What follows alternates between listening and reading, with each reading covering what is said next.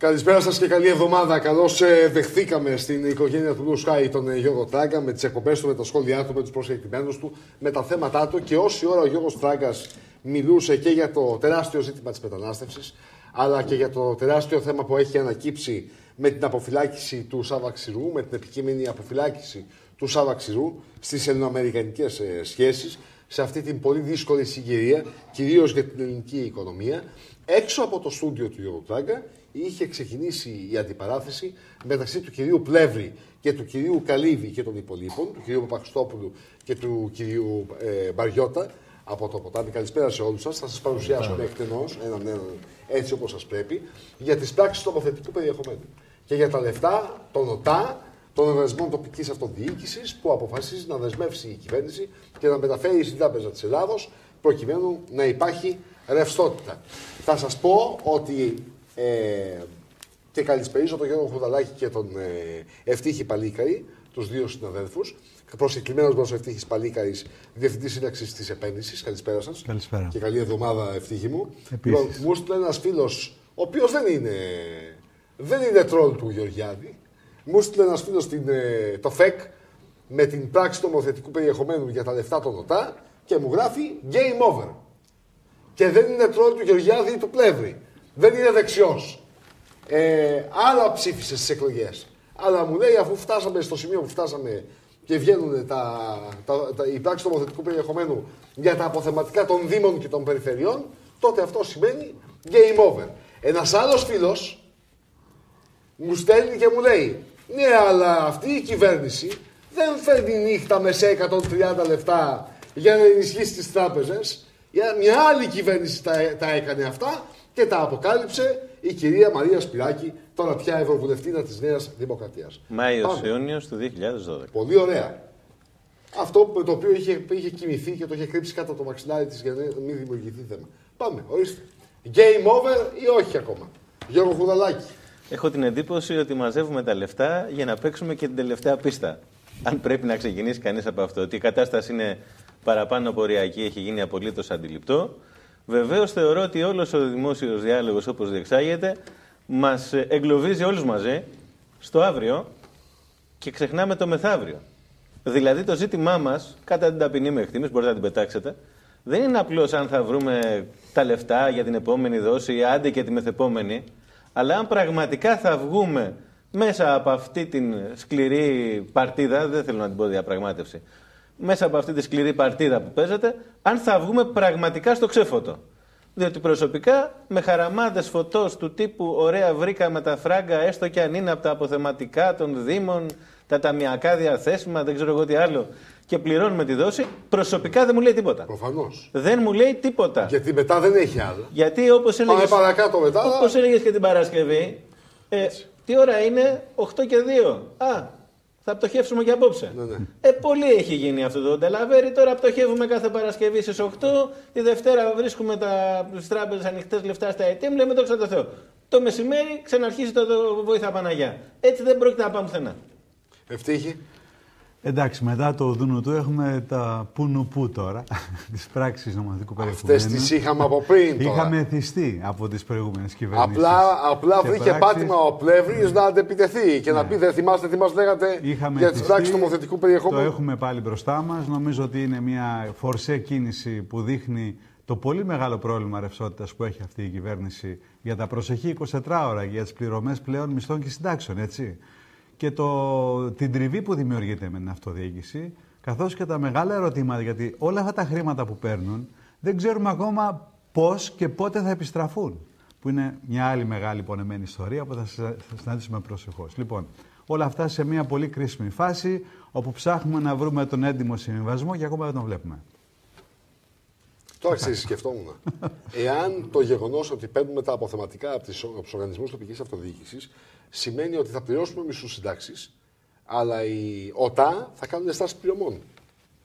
Ναι, είμαστε στον πάτο του βαρελιού. Το ξύνουμε, το ξύνουμε με τεπιτάσεως στον πάτο του βαρελιού. Τέτοιο θέμα. Ναι, Πάντω. Λεφτά που ανακυκλώνονται πρόκειται ναι, ναι, ναι, συγκεκριμένα ναι. και κατά τη γνώμη μου απλό, αυτό που γίνεται στην αγορά, στην πιάτσα, λένε να πας λίγο παρακάτω την επιταγή.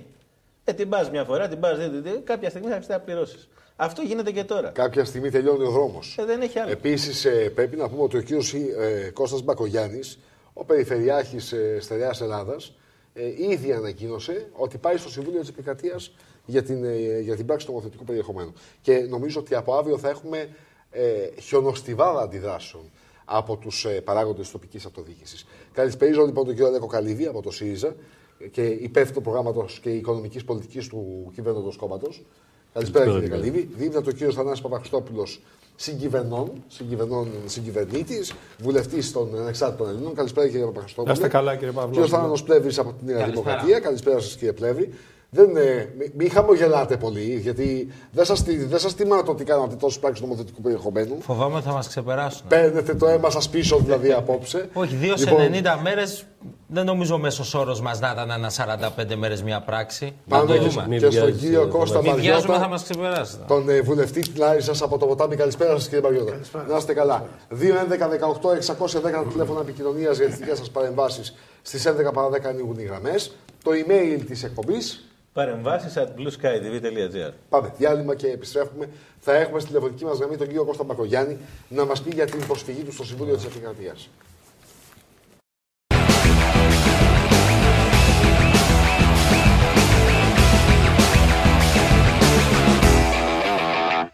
Επιστρέφουμε και πάμε, πάμε μέχρι να, να ακούσουμε τον κύριο Κώστα Μπακογιάννη. Θα τον έχουμε σε δευτερόλεπτα στην τηλεφωνική μας γραμμή. Να πάρω, να, πρω- να πάρω μια πρώτη απάντηση από εσάς, κύριε Καλίνη. Τι φρούτο είναι αυτό τώρα με τις πράξεις νομοθετικού περιεχομένου; Δεσμεύουμε τα χρήματα του τοπικής, των οργανισμών τοπικής αυτοδιοίκησης για να κάνουμε τι; Να αγοράσουμε χρόνο για ποιο πράγμα; Λοιπόν, να το ξεκαθαρίσουμε λιγάκι γιατί όντως υπάρχει μια σύγχυση πάνω στο θέμα. Πρώτα απ' όλα η διαδικασία των, ε, του εσωτερικού δανεισμού πάντα γινόταν στη χώρα μας. Αυτή τη στιγμή γίνεται με έναν τρόπο υποχρεωτικό. Αυτό είναι γεγονός. Η διαδικασία είναι η εξής, ότι κατατίθεται τα ταμιακά διαθέσιμα, αυτά που δεν χρειάζονται στην Μάλιστα. Τράπεζα της Ελλάδος, Ναι. με ένα επιτόκιο καλύτερο από αυτό που υπάρχει στην, ε, στις τράπεζες. 1% δίνουν οι τράπεζες, 2,5% δίνεται μέσα από τα ρέπος. Όποτε χρειαστούν τα ταμεία τα παίρνουν πίσω όπως έγινε στο Αττικό Μετρό. Συνεπώς Ήταν και υπάρχει... αρκετά τα λεφτά νομίζω, 150 εκατομμύρια. ήταν στο- 150 εκατομμύρια. Λοιπόν, α, πρόκειται για μια μορφή συγκεντρωτικής διαχείρισης. Α, από εκεί και πέρα, αυτό δύο αστερίσκους που θα έβαζα εγώ είναι ότι όντως με ενοχλεί η πράξη πρα- ε, νομοθετικού περιεχομένου. Δεν ε, έχουμε φτάσει στο σημείο της Νέας Δημοκρατίας προφανώς με τις 44 πράξεις. Αυτό πάντως σημαίνει ότι είμαστε στο μη παρέκει. Ότι τελειώσαμε, δεν έχουμε άλλα λεφτά. Όχι, όχι, δεν θα έλεγα αυτό. Ε, τότε γιατί, Ακούστε, γιατί ακούστε γίνεται να με σας πράξη πω κάτι. νομοθετικού Το λέει και η περιεχομένου. πράξη. Μπορεί να κάνει, Το μπορεί λέει να και η κάνει, πράξη, μπορεί είναι να βεβαίως. κάνει, προσέξτε κάτι. Όταν κάνεις συγκεντρωτική διαχείριση με, και ε, ε, στην ουσία ένα εσωτερικό δανεισμό, Ναι. το θέμα είναι που δίνεις αυτά τα χρήματα. Αν τα δώσεις για την ανάπτυξη, είναι άλλη τάξη πρόβλημα. Αν τα δώσεις για τους δανειστές, Ναι. εκεί Αυτά τα λεφτά που θα παρουσιάζεται πάνε, πρόβλημα. κύριε Καλίδη. Κοιτάξτε, ε, αυτή τη στιγμή υπάρχει ανοιχτή διαπραγμάτευση, η οποία η φιλοδοξία είναι να τελειώσει στις ε, επόμενες ε, λίγες ε, εβδομάδες. Ε, συνεπώς, νομίζω ότι αυτό που προέχει είναι το αποτέλεσμα της διαπραγμάτευσης. Φαίνεται ότι υπάρχει κάποιο δείγμα κάποιων, ε, ας το πούμε, εξελίξεων στα κρίσιμα ζητήματα που έχει θέσει και ο Αλέξης Τσίπρας, στα τέσσερα κρίσιμα ζητήματα. Ε, τώρα, από εκεί και πέρα, ε, καταλαβαίνω ότι αν υπάρχει πρόβλημα ρευστότητας, είναι άλλη τάξη πρόβλημα συνολικό για τη χώρα και πρέπει να αντιμετωπιστεί διαφορετικά. Πάντως, για να τελειώσω, εντάξει, είναι αδιανόητο τώρα για ορισμένους ανθρώπους και αναφέρομαι στην Νέα Δημοκρατία και στο Πασόκ, οι οποίοι όλα τα προηγούμενα χρόνια μέσω του χρηματιστηρίου σακάτεψαν τα αποθεματικά των ασφαλιστικών ταμείων και των οργανισμών. Μέσα από τα δομημένα ομόλογα. Με το PSI, Μέσα ναι, από ναι, το και ούτω PSI καθεξής. Περιμένετε, που εξαφάνισαν, περιμένετε. που Μην- εξαφάνισαν μην την ανοίξετε λεφτά των τώρα την ασφαλιστικών κουβέντα. ταμείων, Είναι, ε, είναι η σκέτη υποκρισία. είναι θέλω να το σωστή πω, η παρατήρηση προκαταβολικά. Είναι και ο σκέτη αστερίσκος σας. υποκρισία. Είναι Να. σωστά. Ένα λεπτό όμως. Πάμε στον κύριο Κώστα Παγκογιάννη, τον οποίο έχουμε στη τηλεφωνική μας γραμμή, τον ε, Περιφερειάρχη της Ελλάδας, ο οποίος αντέδρασε έντονα και λέει ότι αύριο θα προσφύγει στο Συμβούλιο της Επικρατείας. Καλησπέρα, κύριε Παγκογιάννη. Καλησπέρα σας κύριε, σε εσά και στου τηλεθεατέ σας. Να είστε, να είστε καλά και ευχαριστώ πολύ για την παρέμβαση. Τώρα, ποιο είναι το θέμα; Διότι λέει ο κύριος Καλίδη, εσωτερικός δανεισμός συνέβαινε πάντοτε σε αυτή τη χώρα και στις προηγούμενες κυβερνήσεις και στη διμερή Νέας Δημοκρατίας Πασόκ και στη διμερή Νέας Δημοκρατίας Πασόκ Δημάρ. Είχε γίνει εσωτερικός Από δανεισμός. τους Δήμους ποτέ Και δεν λέει, όχι από τους Δήμους. Από του Δήμου ποτέ δεν έγινε. Γιατί υπάρχει συνταγματική πρόβλεψη που απαγορεύει την οικονομική επέμβαση. στους Το Δήμους. επιτόκιο θα είναι πο- κατά πολύ υψηλότερο πηγαίνοντας τα χρήματα αυτά στην Τράπεζα της Ελλάδας με 2,5% επιτόκιο. Πού είναι το ζήτημα λοιπόν; Ωραία. Να πάρουμε δύο λεπτάκια τα πράγματα από την αρχή. Έτσι, ήρεμα και ψύχρεμα να το συζητήσουμε το θέμα στην ουσία του. Ο- Έρχεται η κυβέρνηση σήμερα με μια πράξη η οποία είναι κατάφορα αντισυνταγματική, η οποία ισοπεδο- ισοπεδώνει την ανεξαρτησία και την αυτονομία του θεσμού της αυτοδιοίκησης και στον πρώτο και στο δεύτερο βαθμό και λέει ότι όλα τα χρήματα με το έτσι θέλω, αποφασίσω και διατάζω, τα παίρνω εγώ. Άρα με λίγα λόγια η κυβέρνηση έρχεται και ακυρώνει τη λαϊκή εντολή που έχουν δεχτεί οι 330 δήμαρχοι και 13 περιφερειάρχες Ναι. Και θεωρεί ότι μπορεί μόνη της να κάνει τη δικιά μας δουλειά. Μα αν είναι έτσι, να μας το πούνε, να μας απαλλάξουν, να πάμε σπίτια μας, να έρθουν εκείνοι να κάνουν τους περιφερειάρχες και τους δημάρχους. Γιατί εδώ τίθεται ένα πολύ ουσιαστικό Υπάρχει ζήτημα. πάντως μια έκτακτη Τα εθνική χρήματα- ανάγκη, δεν συγχωρείτε. υπάρχει κύριε Πακογιάννη. Με- Υπάρχει Μα, μια έκτακτη αν- ανάγκη. Αυτό Ε, ας επικαλείται. έρθει λοιπόν, ε, ας έρθει λοιπόν η κυβέρνηση με γενναιότητα και ειλικρίνεια και με ευθύτητα και να μας πει, κυρίες και κύριοι της αυτοδιοίκησης, πάρτε το θέμα, συζητήστε το στα περιφερειακά και στα δημοτικά σας συμβούλια, διαβουλευτείτε, γιατί έχουμε ανάγκη τα χρήματα. Όχι να μας αφήνει μετέωρους και να μην ξέρουμε αν αύριο το πρωί θα πληρώσουμε τους νευροπαθείς, θα πληρώσουμε τους βρεφονιπιακούς σταθμούς, θα πληρώσουμε για να μαζέψουμε τα σκουπίδια, θα πληρώσουμε για να κάνουμε έργα και τα άλλα στοιχειώδη. Κύριε Καλίδη, τι λέτε γι' αυτό; Δεν πρόκειται περί αυτού. Πρόκειται για διαθέσιμα τα οποία δεν τα έχετε άμεση ανάγκη, κύριε Μπακογιάννη. Πώς είναι, για Συγχωρείτε, 15 λέει. μέρες, κύριε Καλίδη, Με λέει. συγχωρείτε, Όχι, είναι όχι, για τα θα με διαθέσιμα συγχωρέσετε. τα οποία Θα δεν, με υπά, συγχωρέσετε. δεν έχουν, ανάγκη, δεν την έχουν άμεση ανάγκη δήμοι. Για αυτά μιλάμε. Όχι, θα, Για θα αυτά με μιλάμε. Δεν συγχωρέσετε, μιλάμε ότι όλο- θα σου πάρουν όλο όλα το τα θέμα, ταμιακά όχι. διαθέσιμα, κύριε Πακογιάννη. Όλα Με τα συγχωρείτε. παίρνετε. Κάνετε με- λάθος. Κάνετε Θα με λάθος. συγχωρέσετε. Σα είπα, ανα πάσα Ένα στιγμή, ανα πάσα στιγμή μπορεί ο Δήμος ή το φορέας να τα ζητήσει πίσω. Και με αυξη- αυξημένο επιτόκιο. Ε, Ειλικρινά δεν καταλαβαίνω. Σε μια Όχι, περίοδο που θα υπάρχει με- μεγάλη ανάγκη στη χώρα, έχετε την εντύπωση ότι αν υπάρχει πρόβλημα συνολικά στην Ελλάδα θα σωθεί η Βρυτανία; Ορίστε κύριε Πακογιάννη. Θα, θα με συγχωρέσετε καταρχήν. Ε, εγώ δεν ξέρω, ε, δεν σας γνωρίζω προσωπικά, δεν ξέρω με τι ασχολείστε. Είναι ο κύριος Εγώ Αλέκος αυτό το- Καλύβης υπεύθυνος για, την οικο- για την οικονομική πολιτική του ΣΥΡΙΖΑ. Πολύ ωραία. Ε, ο κύριος Καλίδης μου ξέρει προφανώς πολύ καλά τα οικονομικά. Εγώ ξέρω πολύ καλά τη δουλειά μου που είναι αυτοδιοίκηση. Λοιπόν, αυτή τη στιγμή δεν υπάρχουν αποθεματικά και λιμνάζοντας η τοπική αυτοδιοίκηση. Όλα τα χρήματα για τα οποία μιλάμε είναι χρήματα για τα οποία έχουμε νομικές δεσμεύσεις. Είτε για προμήθειες, είτε για υπηρεσίες, είτε για έργα. Μακάρι να είχαμε χρήματα κάπου σε ένα σεντούκι. Θα ήμασταν πάρα πολύ χαρούμενοι. Αλλά ξέρετε, τα τελευταία πέντε χρόνια η τοπική αυτοδιοίκηση έχει υπομειστεί περικοπές που ξεπερνάνε το 65 και 70%. Και η τοπική αυτοδιοίκηση, αν το κεντρικό κράτος την ακολουθούσε, τότε θα είχε φτάσει πρωτογενές πλεόνασμα πριν δύο και τρία χρόνια. Κανείς δεν μπορεί να πει ότι η τοπική αυτοδιοίκηση δεν έχει βάλει πλάτη σε αυτή την προσπάθεια και δεν έχει κάνει θυσίες. Πάντως, Το αντίθετο. κύριε, κύριε Μπακογιάννη, ένα λεπτάκι. Λέει ο κύριος Καλύβης, ελέγχεται αν είναι έτσι. Λέω ότι υποστηρίζει ότι ανα πάσα στιγμή... Όχι κύριε, να διαβάσω. Με συγχωρείτε, Ορίστε, γιατί, κύριε, με συγχωρείτε διαβάστε το ε, φέτο, και ορίστε. διακόπτω τον κύριο Περιφερειάρχη. Αλλά εδώ Ορίστε. πέρα, για να μην λέγονταν ακριβώ, λέει από την υποχρέωση αυτή αξαιρούνται τα κεφάλαια που απαιτούνται για την κάλυψη των ταμιακών τους αναγκών Ναι, αυτό για το ακριβώς. επόμενο δεκαπενθήμερο. Πώς, μα, για Δηλαδή 15 παραδίδουν τα Αφού μπορεί πάντα. να τα πάρεις, Δεν σας αγαπητέ μου, σε διέκοψα. 15 Μισό λεπτό. Σας Όχι, παρακαλώ, τι δεν λέει λέτε αυτό. τώρα; Τι Δεν- λέτε Κύριε τώρα; Καλή, δεν σας διέκοψα. Α, Ο κύριος Καλή κάνει μια ερμηνεία που δεν υπάρχει. Γιατί με αυτήν τη λογική αύριο το πρωί να πάνε να τα ζητήσουν οι περιφερειάρχες. Με το που τα Ας βάλουν το θα τα κάνουν. ζητήσουν. Δεν είναι αυτό. Δίνουν τα πάντα πλην των αναγκών για το επόμενο δεκαπενθήμερο και μόνο. Μάλιστα. Και λέει εδώ πέρα, Δεσμεύουν τα ο πάντα. κύριος Δεσμεύουν. Περιφερειάρχης λέει σωστά ότι Ναι. μπορεί να, το- ο Δήμος Αθηνών έχει υποχρέωση λόγου χάρη Ναι. για τις 10 Μαου. Ναι. Και σήμερα το Δικομοτικό Συμβούλιο λέει ότι εγώ πρέπει να δώσω αυτά τα λεφτά που είναι για τις 10 Μαΐου, γιατί είναι μετά το 15 μέρο και δεν ξέρω αν θα τα έχω διαθέσιμα.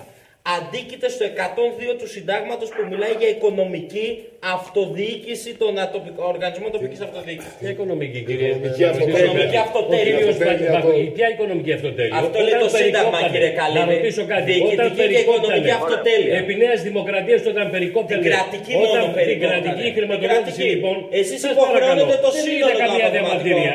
Δεν είδα Κύριε καμία Καλίδη, διαμαρτυρία. Το σύνολο των αποθεματικών λέτε. Σας είπα, Την είναι άλλο κρατική πράγμα. μπορείτε να τη μειώσετε. Είναι άλλο πράγμα. Μπορώ να κάνω Να μια έχεις ερώτηση, μια κύριε Μπακογιάννη, κριτική κύριε οδή Παπαδόπουλε. Και άλλο κάτω από κομματικές Παρακαλώ. Μπορώ να κομμάτια κάνω θα μια κινείσαι. ερώτηση. Με συγχωρείτε. Κύριε επιτέλους. Καλύβη, ένα λεπτό. Είστε κύριε Παπαχιστόπουλο στον κύριο, Παπαγιο... στον κύριο Μπακογιάννη ερώτηση. Κύριε Περιφερειάρχα, Παρακαλώ. θα ήθελα να σας ρωτήσω το, Κοιτάξτε. το εξής.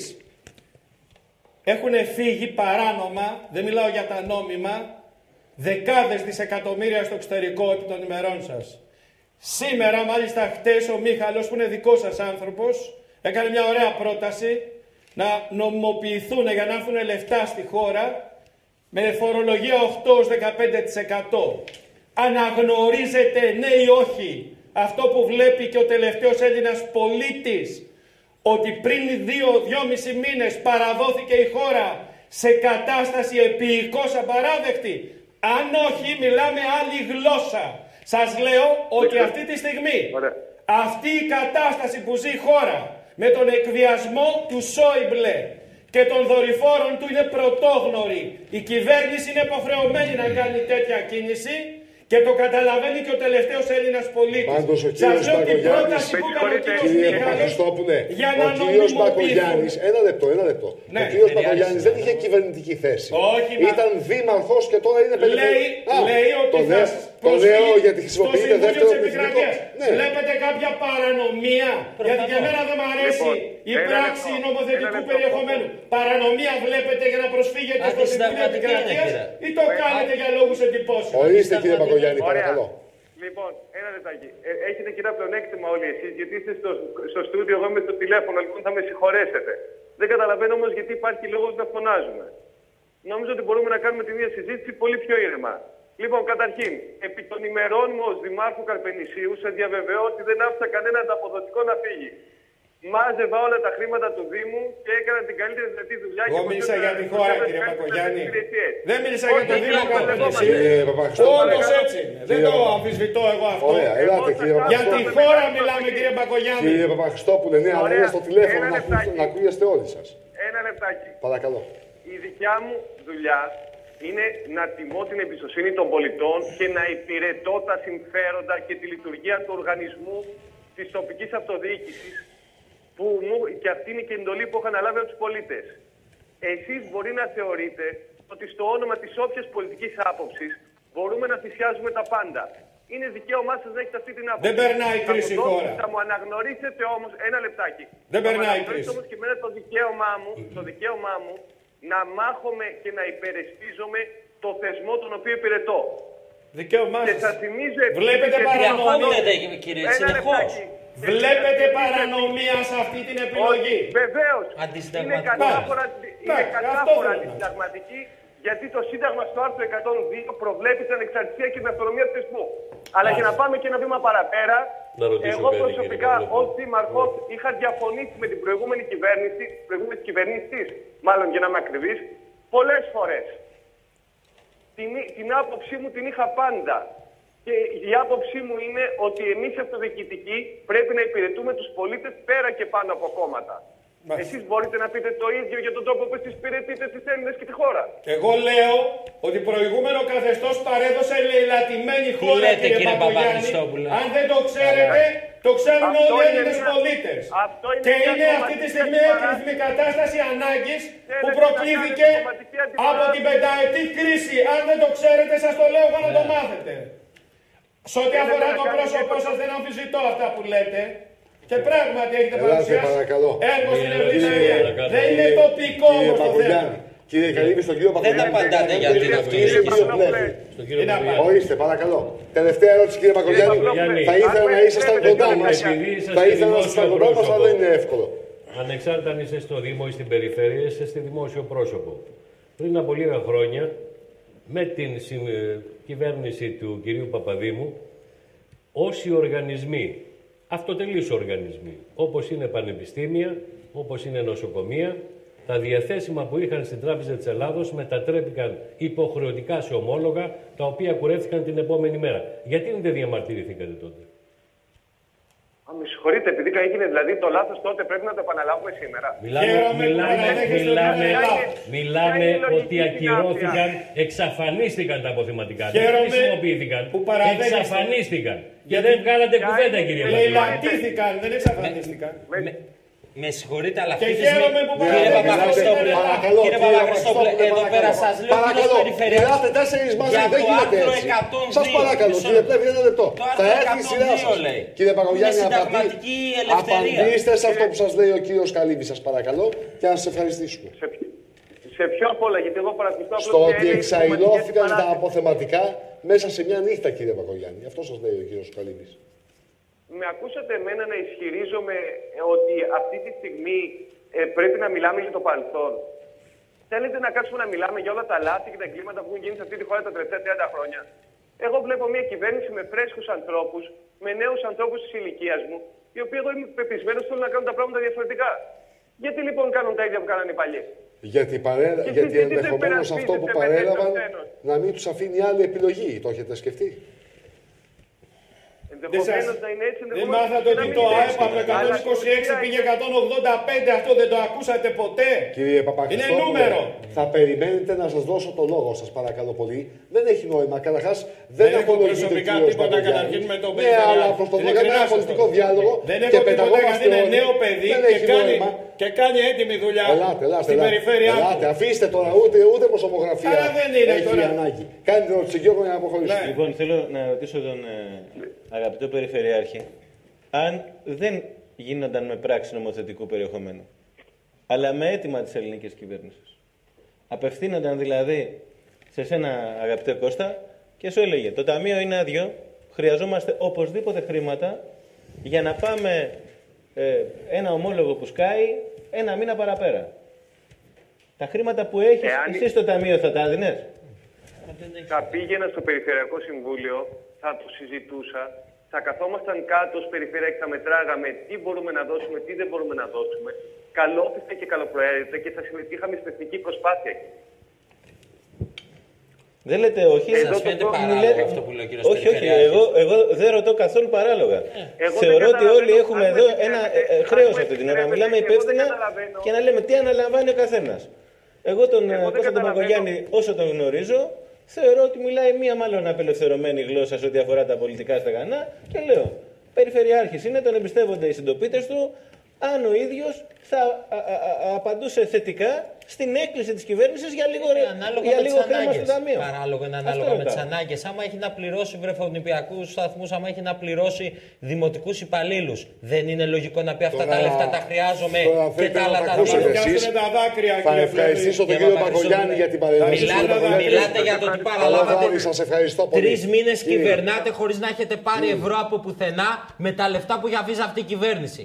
Και πήρατε τα αποθεματικά της περιφέρειας Αττικής πρώτα που τα έδωσε η κυρία Δούρου και τώρα επειδή σα- δεν σας φτάνει έρχεστε θρασίτατα παραβιάζοντας το άρθρο 102 του συντάγματος και υποχρεώνετε όλους τους Δήμους να δώσουν τα αποθεματικά τους. Και μάλιστα κάνετε και κάτι χειρότερο. Επειδή δεν μπορείτε με νόμο να υποχρώσετε τα ασφαλιστικά ταμεία, λέτε πράγμα που απαγορευόταν ω τώρα ότι οι φορείς κοινωνικής ασφαλίσης δύνανται να μεταφέρουν Μέχρι τώρα απαγορευόταν κύριε Παυλόπουλε που σημαίνει ότι με τις, κυ- με τις διοικήσεις που έχετε βάλει αν αύριο το πρωί πάρουν και οργανισμοί, α, ε, το, εσα- οι ασφαλιστικοί οργανισμοί απόφαση να τα μεταφέρουν και αυτά πηγαίνουν και τα λεφτά των ασφαλιστικών ταμείων. Τώρα ισχύει, δεν απαντήστε έχουν γίνει πολλές κύριε αλλαγές. Παπαχριστόπουλε. Τι Τώρα λέξη- απαντήστε για να Για μιλήσει και ο πείτε κύριος μου τώρα. Τη Παγκογιάννη. λέξη διαπραγμάτευση την ξέρει ο κύριος Κλέβρης. ξέρω μια χαρά. Η κυβέρνησή του την έμαθε Εσείς την- ποτέ. τη- την- Δεν σας διέκοψα.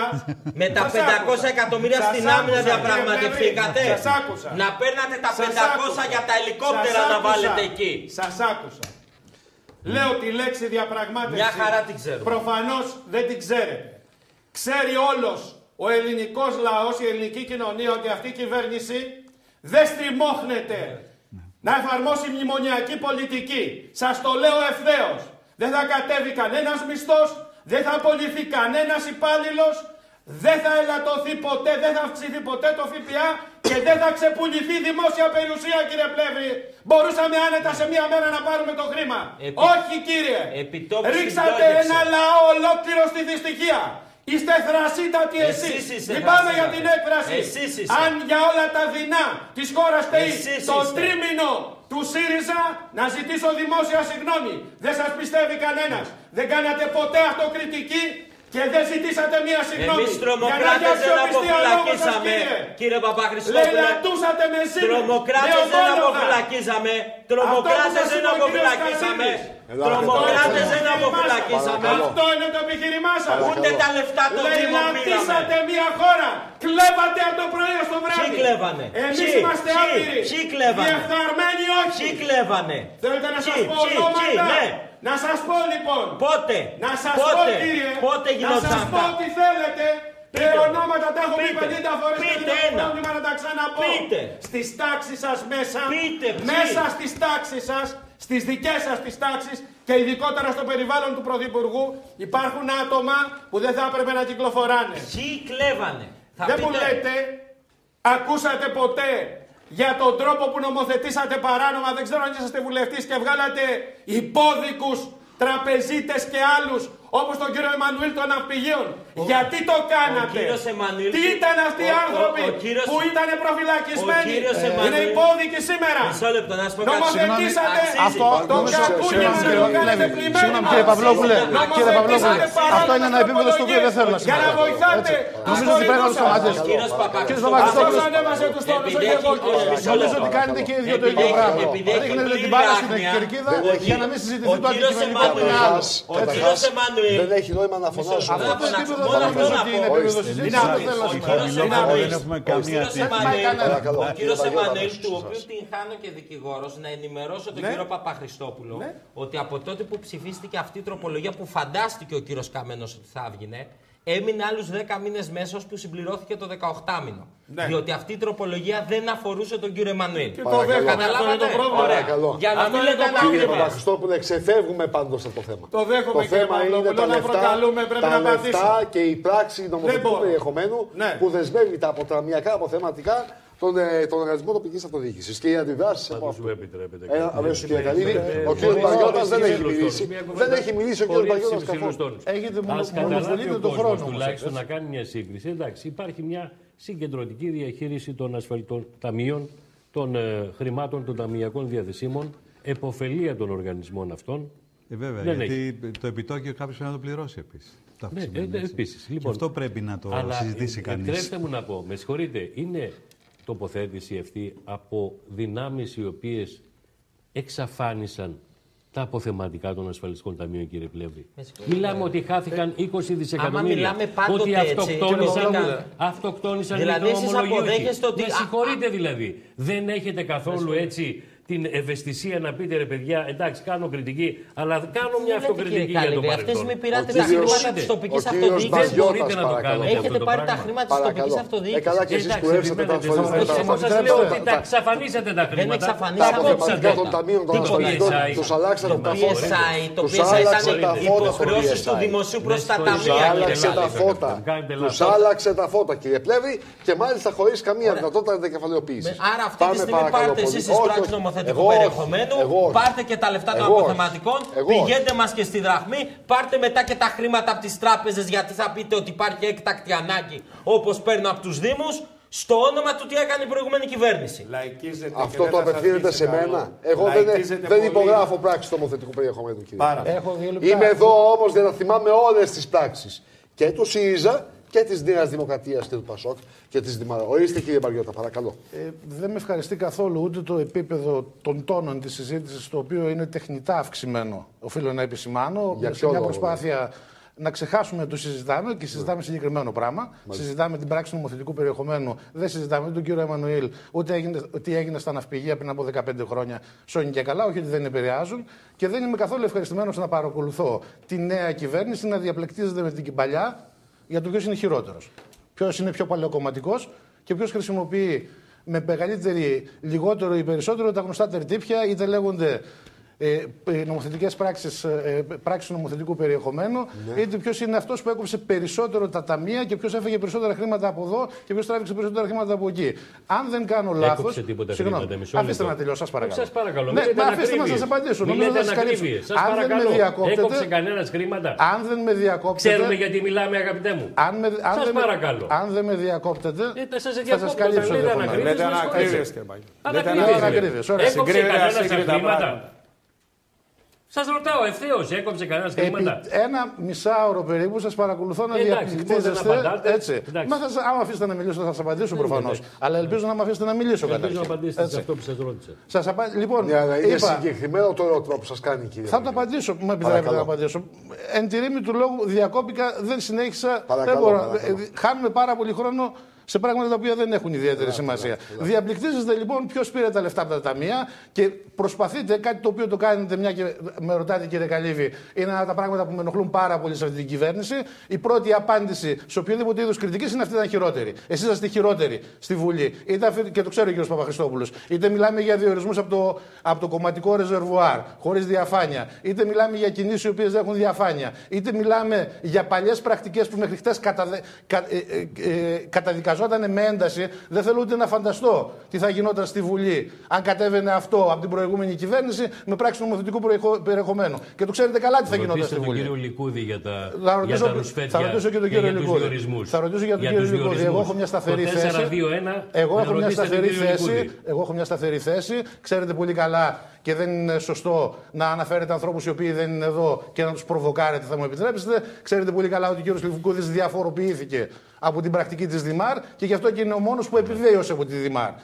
Και το ξέρετε πολύ καλά αυτό. Και δεν νομίζω ότι είναι σωστό και δεν νομίζω ότι είναι έντιμο να αναφέρεστε σε πράγματα που αφορούν άλλους. Το 4-2-1 αφορά άλλους. Δεν αφορά τον κύριο Λικούδη. Δεν αφορά επίσης το ποτάμι. γραμματέας Από την της, πρώτη ε, στιγμή, Δημάρ, επιτρέψτε μου, σας αγαπητέ μου, παρακαλώ. αν θυμόσαστε καλά. Επιτρέψτε μου, σας παρακαλώ. Ξέρετε πολύ καλά ότι Πολιτικά το λέω, διαφοροποιήθηκε όχι και προσωπικά. θυμίζετε καλύτερα από μένα. Έτσι, και δεν είμαι δημάρι, είμαι ποτάμι. Και, από το, και το ποτάμι για την πρώτη στιγμή σταθερή και καθαρή θέση που μιλάει για προκηρύξει θέσεων. Και ο κ. Χριστόπουλος δίπλα χαμογελάει γιατί ξέρει και Δεν θυμάται χαμογελάω καλά με αυτό που την νομίζετε. τοποθέτησή μου στην Επιτροπή Κοινωνικών Υποθέσεων Άλλο. και του ΕΑΡΚΕΣ. Και ήταν πολύ Έτσι. σωστή η Ε, τοποθέτησή Δυστυχώς όμως σας αυτό που και ήθελα τη να πω και αφορά σέβομαι. κυρίως τους ΣΥΡΙΖΑ Και και, τη όχι σέβομαι. εσάς, αφορά κυρίως τους ΣΥΡΙΖΑ Και και, τη όχι εσάς. σέβομαι. Τι Γιατί σχέση εσείς έχω. είναι δεδομένο Ναι. ότι προέρχεστε από εκεί που προέρχεστε πολιτικά.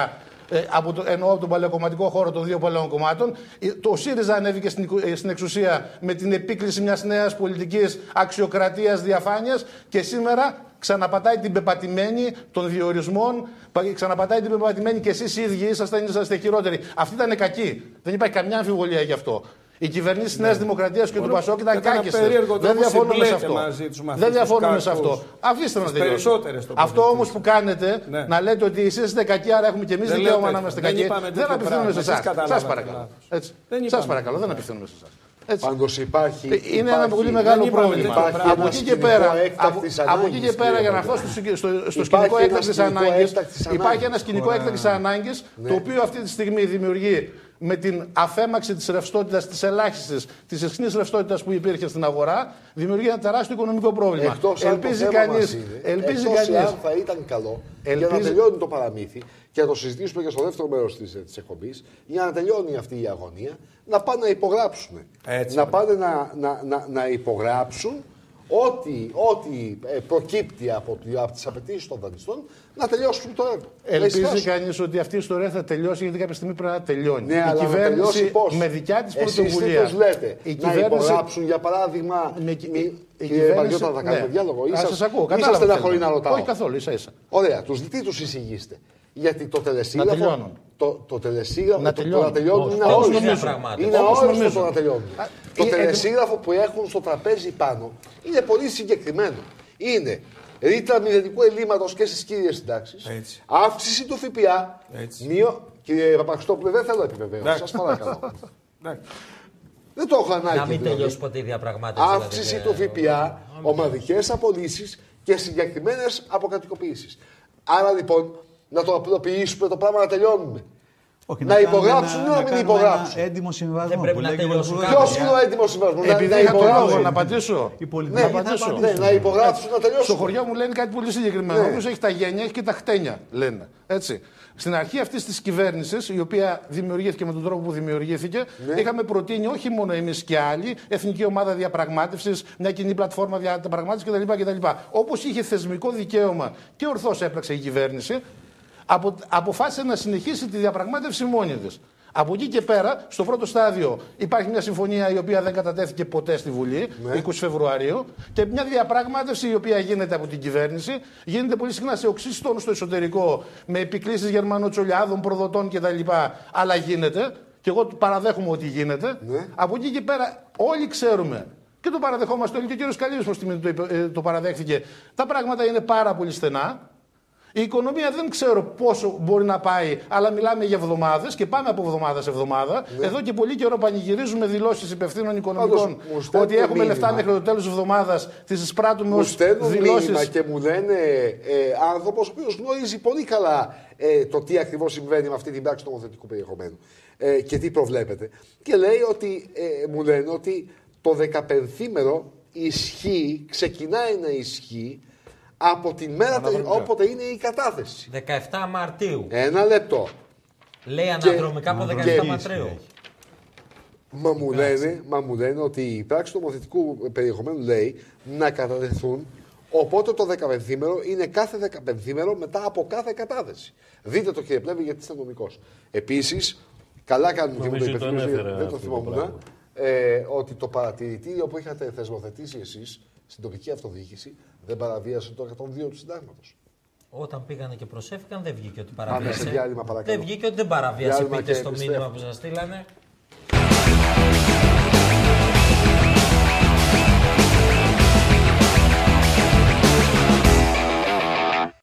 Επιστρέφουμε. Πάμε στον Ευτύχη τον Παλίκαρη γιατί έχει ζητήσει τον λόγο και τον Γιώργο του Χουδαράκη. Πάμε. Εμείς Παρακαλώ. χαμηλόφωνοι τι τύχη έχουμε εδώ μέσα; Πολύ καλή. Πολύ καλή. Δεν υπάρχει. Επίσης, να, τη δω- να τη δω γιατί μου. Λοιπόν, έχουμε και την πράξη εδώ που Ναι, πήγε μα να την φέρει έχει ο κύριος πριν Μπέμπη και εγώ δεν έρχεται. την έχω στα χέρια μου. Λοιπόν, Παρακαλώ. Ε, έχω δύο σχόλια. Το πρώτο είναι το εξής. Ε, η πράξη νομοθετικού περιεχομένου δεν είναι καλό πράγμα. Όπως δεν είναι καλό πράγμα όταν γινόταν ε, τα τελευταία 4-5 χρόνια. Και να θυμίσουμε ότι όλες αυτές οι πράξεις νομοθετικού περιεχομένου γίνανε στο όνομα Ως- της, της κρισιμότητας. Ω γενική αρχή. Ναι, ναι. το λες. Αλλά Μάλιστα. όλες οι πράξεις που θες- θέσπισε η προηγούμενη κυβέρνηση γίναν στο όνομα της κρισιμότητας, αν θυμάστε καλά, της κατάστασης. Επομένως, αυτό είναι ένα πολύ μεγάλο θέμα. Η νέα κυβέρνηση οφείλει να σέβεται ορισμένες βασικές δημοκρατικές αρχές.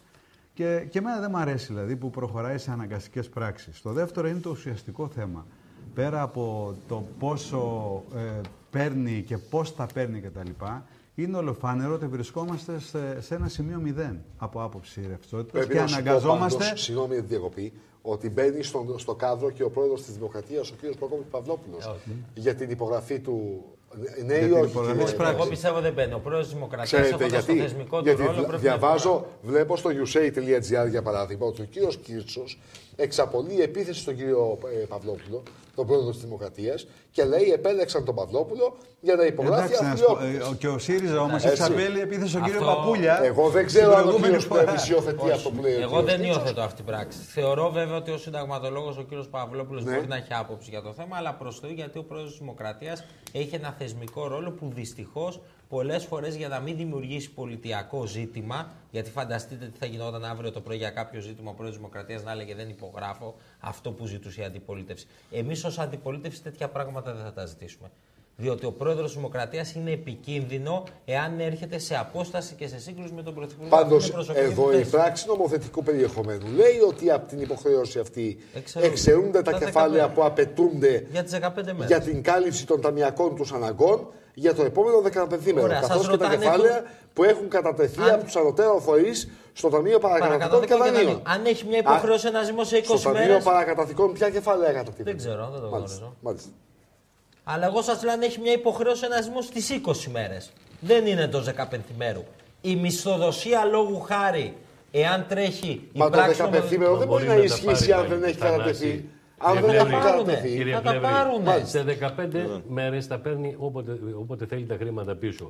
και με επιτόκιο που πιο Μην τα αυξημένο. δίνει τα Δεν χρήματα είναι- Αφού είναι ο τόσο Ρεβέρ, απλός, με γιατί τον τα Ρεβέρ παίρνει. λέτε έτσι. Αφού είναι Τα τόσο δίνει απλός. τα χρήματα Κύριε όλα. Καλύβη, εγώ δεν είμαι Μπαίνουμε οικονομολόγος. σε μια Αφού είναι συζήτηση. τόσο απλό, γιατί τα Προσέξτε παίρνει. γιατί τα Προσέξτε. δίνει όλα τα Αφού είναι χρήματα τόσο και απλό, γιατί τα κρατάει μόνο παίρνει. το 15 Μπορείτε να μας ευρώ. εξηγήσετε Θα σας γιατί πω τα γιατί παίρνετε. τα παίρνετε. Θα σας πω Καταλαβαίνετε γιατί τα τι παίρνετε. Και πίεση πού θα- και δημιουργείται πώ στους θα τα βρει Δήμους για γι' να τα αυτό. δώσει μετά από 15 μέρες; Θέλω Δηλαδή να- εσείς για 15 θε- θέλω μέρες με την άδεια της βγάλατε Άννου να πω πράξεις δύο νομοθετικού κουβέντες. περιεχομένου για αν μου- 15 μέρες. Όσο Αν μου τη επιτρέπετε διαβάζεις να στην πω δύο πράξη, κουβέντες. Όσο τη διαβάζεις στην Σας πράξη, ακούμε βγάζεις μεγάλη ορισμένα υπομονή εδώ και συμπεράσματα. ώρα. Λοιπόν, είναι προφανές ότι είναι μια άκρος δυσάρεστη και φαντάζομαι για όλους κίνηση η πράξη του νομοθετικού περιεχομένου. Άκρος δυσάρεστη. Και τον Αλέκο τον Καλύβη που ακούω, τον έχω εδώ εκ δεξιών μου αριστερός, εκφράζει δυσαρέσκειά του. Δεν υπάρχει κανείς που είναι ευτυχής με αυτή την ιστορία. Πάμε να δούμε γιατί γίνεται. Με απλές κουβέντες και χωρίς να κρυβόμαστε πίσω από το δάχτυλό μας. Γιατί δεν Διότι υπάρχει- δεν έχουμε πάρει δεν υπάρχει χρήμα, σάλιο. δεν έχουμε πάρει χρήμα από το Δούνου του όλο το 14 και δεν έχουμε πάρει από τους Ευρωπαίους από το τέλος Ιουλίου του 14 επίσης. Αυτή η χώρα δεν χρηματοδοτείται γκρόσο μότο εδώ και ένα χρόνο. Για να ξέρουμε τι λέμε. Μια χρεοκοπημένη χώρα λοιπόν, η οποία δεν χρηματοδοτείται. Και βρίσκεται εν μέσω μιας διαπραγμάτευσης τετράμινης, στο τέλος Ιουνίου λίγη, με έναν στόχο. Αυτή η ιστορία να μην αντιμετωπιστεί με μια ασπιρίνη, αλλά με μια λύση. Η απέναντι πλευρά των δανειστών μέχρι τώρα μας έχει πάει καροτσάκι. Δεν ανοίγει ούτε τη στρόφιγγα του ELA για να δώσει τα απαραίτητα χρήματα για να ανατροφοδοτηθούν τα ομόλογα. Αυτή είναι η αλήθεια. Η κυβέρνηση ψάχνει να βγάλει και από τη μίγα ξύγκη ή αυτό που είχε πει ο Τσίπρας στον Ομπάμα, δηλαδή να στύψεις και την πέτρα, να βγάλει αίμα. Αυτή είναι η ιστορία. Τώρα, αν θέλετε τη γνώμη μου, την ταπεινή, πετάξτε τη. Αυτό το πράγμα που έχουμε απέναντί μας έπρεπε να προκαλήσει στράτευση όλων μας. Χωρίς πράξεις νομοθετικού περιεχομένου.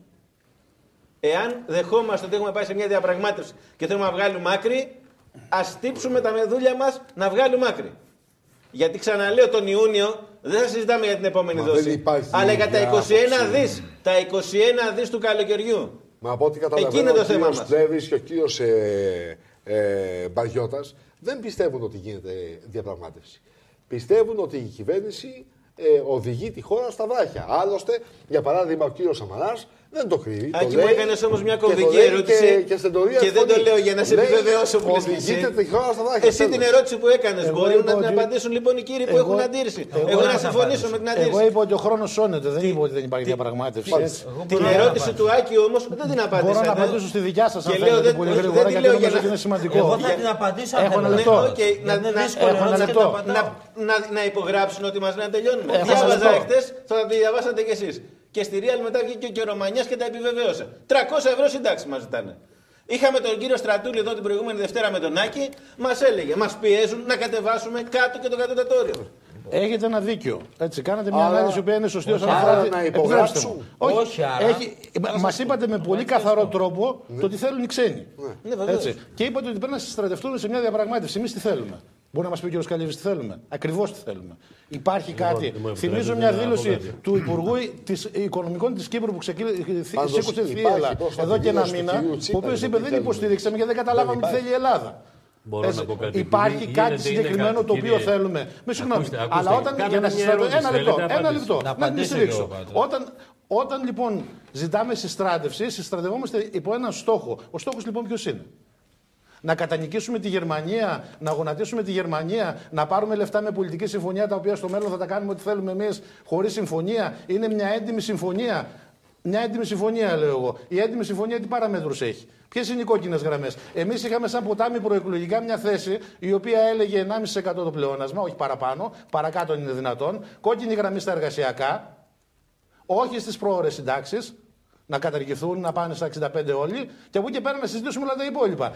Αυτές είναι πέντε γραμμές. Τις έχουμε σήμερα. Διολίστησε η κυβέρνηση του ΣΥΡΙΖΑ από το κούρεμα, αν θυμάστε, και από καμιά συζήτηση και από τον ένα νόμο στο ένα μνημόνιο για να πάω λίγο παραπέρα, στο 1,5% λι- ε, πλεόνασμα που συμφωνούμε όλοι και σε ορισμένες άλλες. Τι ακριβώς θέλουμε για να συστρατευτούμε. Μπορεί κάποιος να μας περιγράψει υπεύθυνα τι ακριβώς θέλουμε. Τώρα έχουμε να σημασία απαντήσω. το, το συστρατευτούμε. ερώτημα Να που βάζει ο απαντήσω κ. πάντως Παγιώτας αυτό. έχει Μπήκαμε σημασία. στο zoom in. Εγώ Είναι θα ήθελα να σημαντικό. απαντήσω Ορίστε, κιόλας, γιατί- απαντήστε, ακούστε. απαντήστε. Καταρχήν Ορίστε. πρώτα απ' όλα, βέβαια, εμεί. Τι τους λέτε; Θα σας πω ευθέως. Τι τους λέτε; Από, από- Τους λέτε ότι μας θα πάνε στα σας πω, βράχια. θα σας Μάλιστα. πω. Από Να την υπογράψουν, να κυβέρνηση- Εγώ ισχύσουν. θα σας πω από την κυβέρνηση ΣΥΡΙΖΑ δεν πήραμε στήριξη στο τίποτα. Εμείς προφανώς και να βάζαμε στήριξη αν υπήρχε ένα προσανατολισμό. Εμείς ευθέως λέμε. Το τι θα κάναμε, το είπαμε και προεκλογικά και μάλιστα λιδωρηθήκαμε και, και ο ελληνικός λαός επέλεξε μια άλλη πρόταση και φαίνεται και από το mail που είχαμε στείλει. Κύριε Παυλόπουλε, εμείς λέγαμε με πόδινο μεν τρόπο είχαμε καταλήξει σε μια συμφωνία η οποία αυτή τη στιγμή δεν θα είχε κανένα θέμα ως προς τη ρευστότητα της χώρας. Εάν τώρα η άλλη πρόταση είναι το δημοσιονομικό γιατί δεν την κενό, κλείσατε; μισό λεπτό, Δεν την κλείσατε του τη 1,5 συμφωνία. δις του Ιανουαρίου Δεν δεν την μπορούσαμε. κλείσατε. Δεν Αφήστε, μπορούσαμε δεν γιατί είχαμε τον πρόεδρο. Μια χαρά μπορούσα. Το ενενά, δεν θα περνούσε από τη Βουλή, κύριε Παυλόπουλε, δεν περνούσε. Δεν την Το κλείσατε. 1,5 δις του Ναι, γιατί Ιανουαρίου. δεν περνούσαν άλλα Το μέτρα από τη 1,5 Βουλή, δις γι' του αυτό. Ιανουαρίου. Που επιλέξατε τις εκλογές. Έχει γίνει 4,5 δις. Η τώρα το μεγαλύτερο το καλύτερο από το Πόσο- μεγαλύτερο. Κατά ένα περίεργο τρόπο δεν τώρα- μπορώ να Όχι, τελειώσω. έχετε δίκιο. Πώ έχει γίνει Συγγνώμη, 4,5 δις; Έχει γίνει 4,5 δις. λιγότερο. Δεν μα έχει γίνει. Γιατί αυτή τη στιγμή Ναι. το γεγονό ότι δεν υλοποιείται πολιτική τρεις μήνες και στα- έχουν σταματήσει οι ιδιωτικοποιήσεις οι οποίες ήταν να γίνουν. Έχει σταματήσει κάθε μεταρρύθμιση η οποία υπήρχε. Έχουν σταματήσει οι πράξεις. Έχουν βγει όλοι οι υπουργοί και μοιράζουν δισεκατομμύρια. Να στηρίξω τι, Πολλούς να μήνες- ξαναυξηθεί πολλούς μήνες, κύριε ο Πρόεδρε. δημόσιος τομέας; Πολλούς Αυτό μήνες να πριν. στηρίξουμε, κύριε Παυλόπουλε; Πολλούς Όχι, κύριε μήνες- Παυλόπουλε. πολλούς μήνες πριν να είχαν στηρίξουμε τι, σταματήσει να οι στηρίξουμε μεταρρυθμίσεις. ότι βρήκαμε 500 εκατομμύρια για τα ελικόπτερα.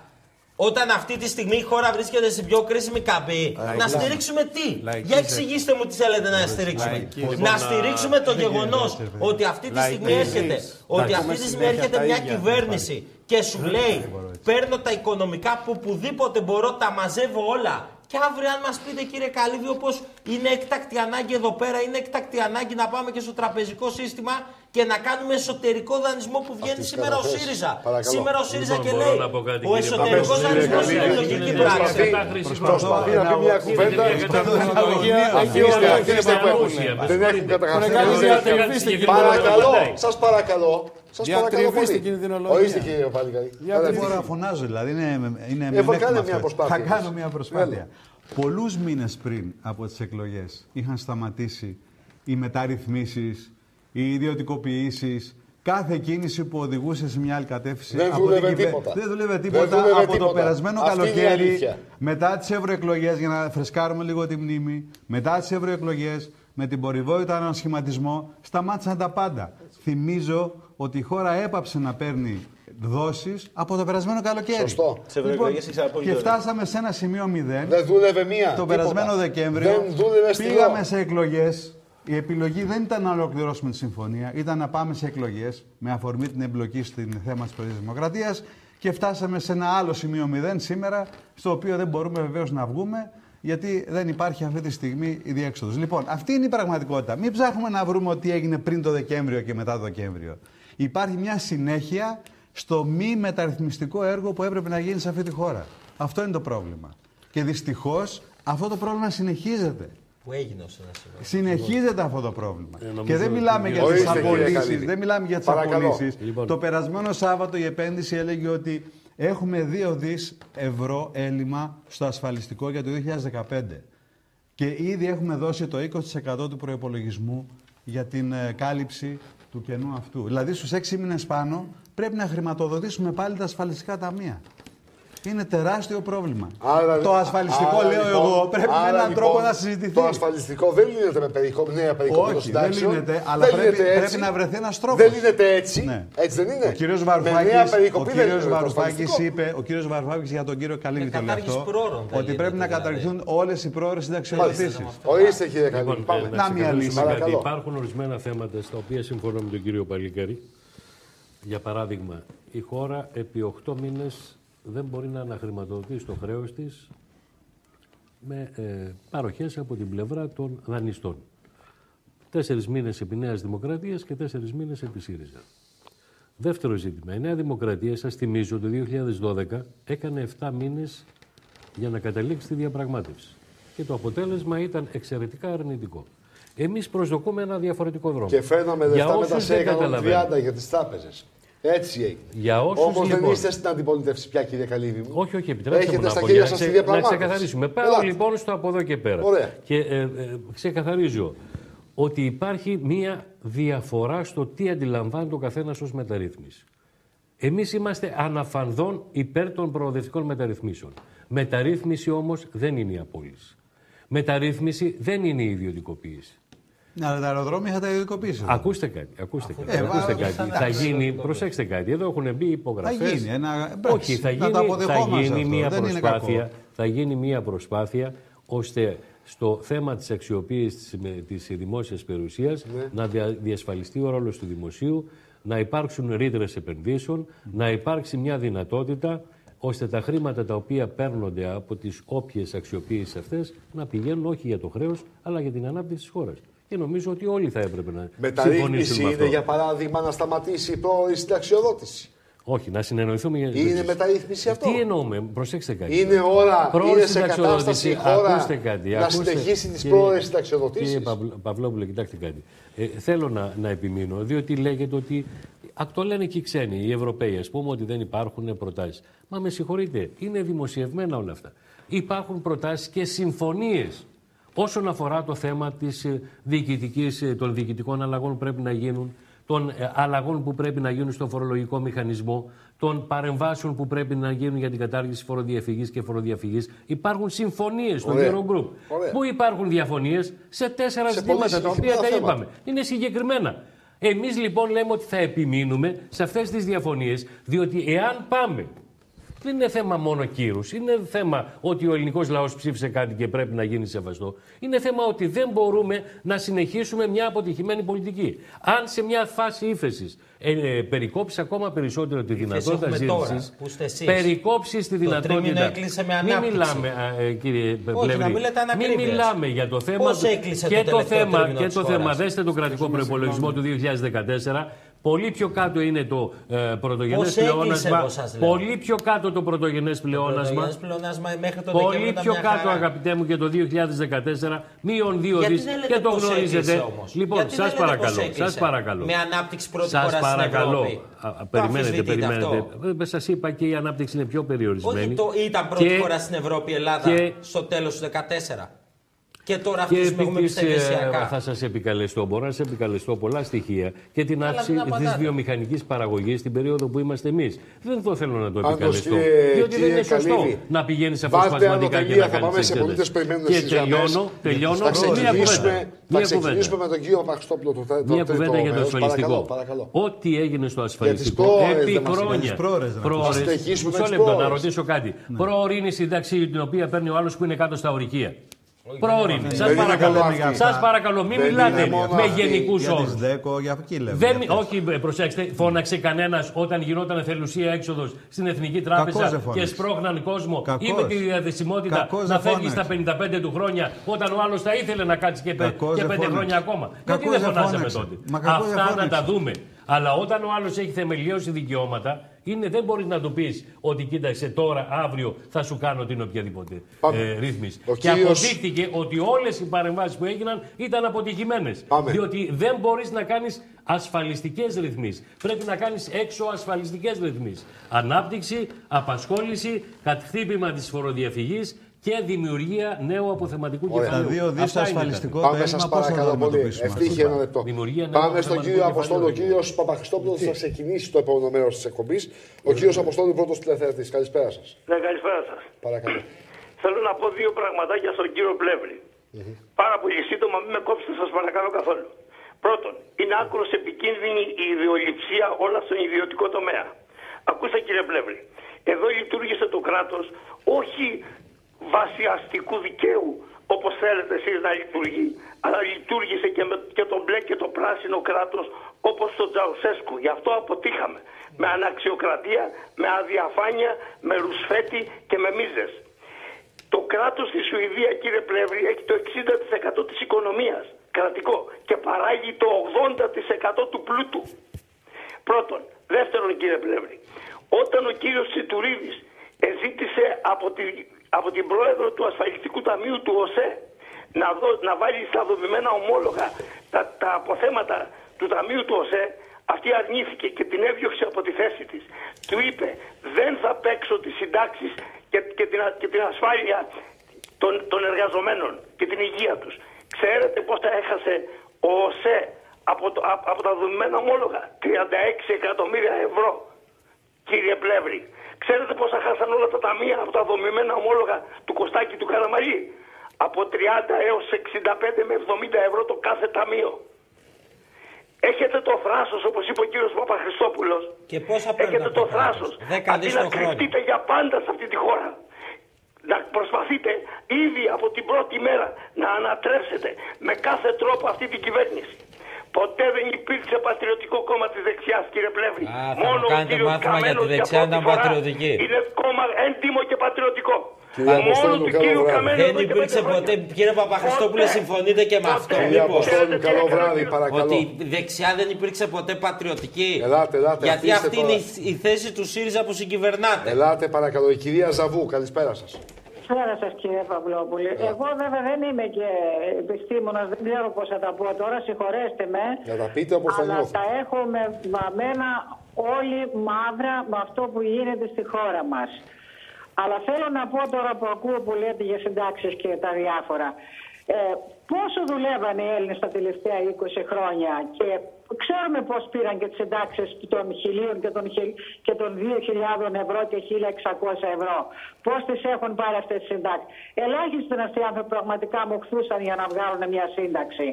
Λοιπόν, εγώ αυτή τη στιγμή παίρνω 460 ευρώ σύνταξη από εργοστάσιο από τον Ασπρόπυργο. Δεν θα με ένοιαζε να, τη- να τις κόψουν τις συντάξεις και να μου δώσουν 360 ευρώ. Όμως δεν συμφέρει κανέναν αυτή τη στιγμή να είμαστε εκτός της Ευρωζώνης για- με τους καλούς γείτονες που έχουμε γύρω μας. Ήθελα να, να πω τώρα για το Δοβλίνο 2, 3, 5, πώς τα λένε αυτά τα πράγματα. Ποιοι, ποιοι κάνουν αυτό το έγκλημα κύριε Παυλόπουλη και σε όλους απευθύνομαι. Ποιοι κάνουν αυτό το έγκλημα και γιατί υπογράψαν αυτές τις συμβάσεις και καταδικάσανε τη χώρα μας σε θάνατο. Ε, δεν πρέπει αυτοί οι άνθρωποι να λογοδοτήσουν κάποιος και, και εκτός αυτού. Η σημερινή κυβέρνηση γιατί δεν τον ανα- ανακαλεί αυτό το Δοβλίνο 2 παρά έχει καλέσει τον κόσμο αυτόν και πνίγονται στις θάλασσες Κυρία- και πνίγεται η ψυχή μας να τους βλέπουμε. Κυρία Ζαβού. Και εγώ θέλω να πω ότι πιστεύω ότι οι άνθρωποι αυτοί όπως με, τα, με τις κινήσεις που κάνουν, όχι ότι κα- το, οι προηγούμενοι ήταν καλύτεροι, δεν θέλω καθόλου δεν θέλω να τους ακούω, αλλά ε, ε, υπολογίζομαι σε κάτι καλύτερο. Εδώ όπως φαίνεται, οι άνθρωποι αυτοί ε, ανεβήκανε στην εξουσία και ο Θεός ξέρει πώς θα ξαναφύγουν για να κάνουν, τη- να τακτοποιήσουν τους ε, Πακιστανούς, τους όλους της, της γης, τους, ε, αυτούς τους ανθρώπους και να, να καταστρέψουν τη χώρα μας. Εγώ αυτό βλέπω ότι γίνεται αυτή τη στιγμή. Καλό βράδυ Και αυτή- κυρία Ζαβού. Σας ευχαριστώ πολύ. Ο κύριος Βανόπουλος. Ναι, καλησπέρα σας κύριε Παπλοπουλέ. Καλησπέρα. Ε, χρόνια πολλά Χριστός Ανέστη. Αληθώς. Ε, Είμαστε συνομήλικοι και όλα στην ηλικία. Ήθελα να σας πω το εξής κύριε Παπλόπουλε. Α, από την ώρα που κατάλαβα τον εαυτό μου και μετά τις σπουδές και σαν φοιτητής και μετά σαν επαγγελματίας πάντα αυτό το κράτος δεν είχε λεφτά κύριε Παπλόπουλε. Πάντα αυτό το κράτος είχε ένα πρόβλημα. Πάντα, μα πάντα, από το 50 μέχρι τώρα. Πάντα. Γιατί; Γιατί; Γιατί δεν έχουμε φορολογική συνείδηση οι Έλληνες κύριε Παπλόπουλε. Και αυτοί όλοι οι πολιτικοί που μας κυβερνούν, τους οποίους τους ψηφίζουμε εμείς και τους βγάζουμε, τους βγάζουμε γιατί ξέρουμε τι θα μας κάνουν. Δεν έχουμε φορολογική συνείδηση. Οι Ιάπωνες και οι Κορεάτες, διανοείται οι Ιάπωνας και οι Κορεάτες να μην πληρώσει εφορία κύριε Παυλόπουλε. Απαντήστε μου. Τον Ιάπωνα που όλοι το θαυμάζουμε και τα προϊόντα του και τον Κορεάτη τον Νότιο που παίρνουμε τα προϊόντα του. Διανοείται κανένας Ιάπωνας ή κανένας Κορεάτης να μην πληρώσει εφορία. Το θεωρούν ντροπή. Είναι ο λαός μας βρώμικος κύριε Παυλόπουλε. Πάντως, Είναι διεφθαρμένος εξίσου και ντροπή, κύριε βρώμικος ο Σβανόπουλε, λαός μας. Γι' αυτό είναι- μας κυβερνάνε και αυτοί οι πολιτικοί. Κύριε Σβανόπουλε, Τους βαρέθηκαν, τους εξίσου βλέπω όλους. μεγάλη... Έχουν στήσει ένα μαγαζάκι και μας δουλεύουν όλοι. Ωραία. Εξίσου μεγάλη τροπή είναι και η άγρια, και η άγρια υπερφορολόγηση των Εντάξει, μισθωτών κύριε και Παυλόπουλε, συνταξιούχων άγρια υπερφορολόγηση. προκειμένου, Γιατί γίνεται προκειμένου- άγρια υπερφορολόγηση; προκειμένου να γεμίσουν τα άγρια Εσείς κρατικά θυμηθήκατε ταμεία. ποτέ τον εαυτό σας; Συγγνώμη. Θυμηθήκατε; Αφήστε με να τελειώσω. Ναι, αλλά θυμηθήκα- μην, να, να προλάβουν και άλλοι να παρέμβουν. Σας παρακαλώ πολύ. Υπάρχουν πολλοί. Να είστε καλά. Η κυρία Αρματά. Ναι, καλησπέρα σας. Καλησπέρα σας. Ωραία. Ε, ευχαριστώ πολύ που μπορώ να μιλήσω. Να είστε καλά. Ε, ήθελα έτσι, είμαι συνταξιούχος του Δημοσίου και ακούω όλο αυτό το, το θέμα που είναι το κύριο θέμα απόψε. Πρέπει να σας πω ότι σας παρακολουθώ ε, σχεδόν κάθε βράδυ. Ε,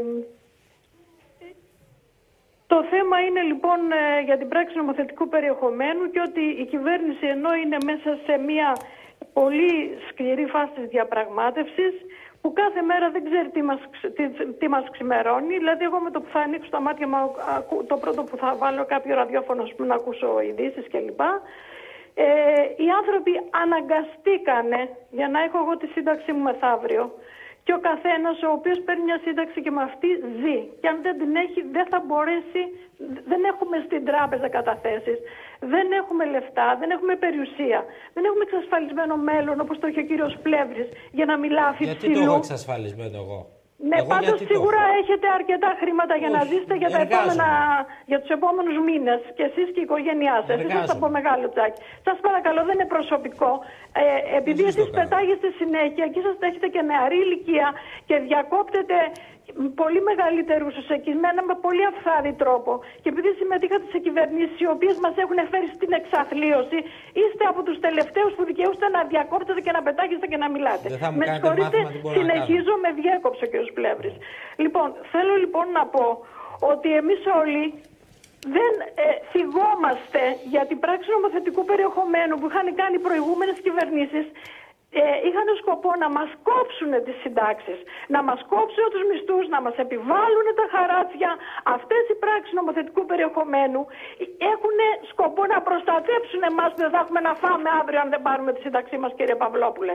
Και αυτή η κυβέρνηση αγωνίζεται με το κεφάλι ψη- ψηλά και προσπαθεί να βγάλει και από τη μήγα ξύγκη αν θέλετε. Σας Δεν, ευχαριστώ δεν πολύ, έκλεψε κύριε τα λεφτά, τα δανείστηκε με μεγαλύτερο επιτόκιο, τα, τα, τα, τα διαθέσιμα ρευστά. Και για να μην σας κουράσω, αλλά να σας πω, επειδή είμαι συνταξιούχος του δημοσίου, ότι τα ασφαλιστικά μας ταμεία έχουν υποστεί πολύ μεγάλη ζημιά όταν προηγούμενες κυβερνήσεις είχαν αναγκάσει, είχαν βάλει όλα τα αποθεματικά τα χρήματα στα, στο ταμιευτή, στο, με συγχωρείτε, στο χρηματιστήριο Το και τα είπαμε, χάσανε, κυρία χαθήκανε Αρματά. Το, εκατοντάδες κυρία εκατομμύρια όπως Αρματά, ξέρετε. το είπαμε Και και στη- λίγο πριν.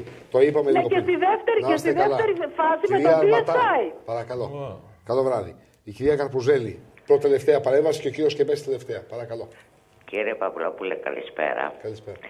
Το πρόβλημα το μεγάλο είναι να υπογράψουμε, γιατί οι κύριοι έχουν αναλάβει όλοι να δώσουν 14 αεροδρόμια σε μία και μόνο εταιρεία που θα ορίζει όλο τον τουρισμό από εκεί και ύστερα.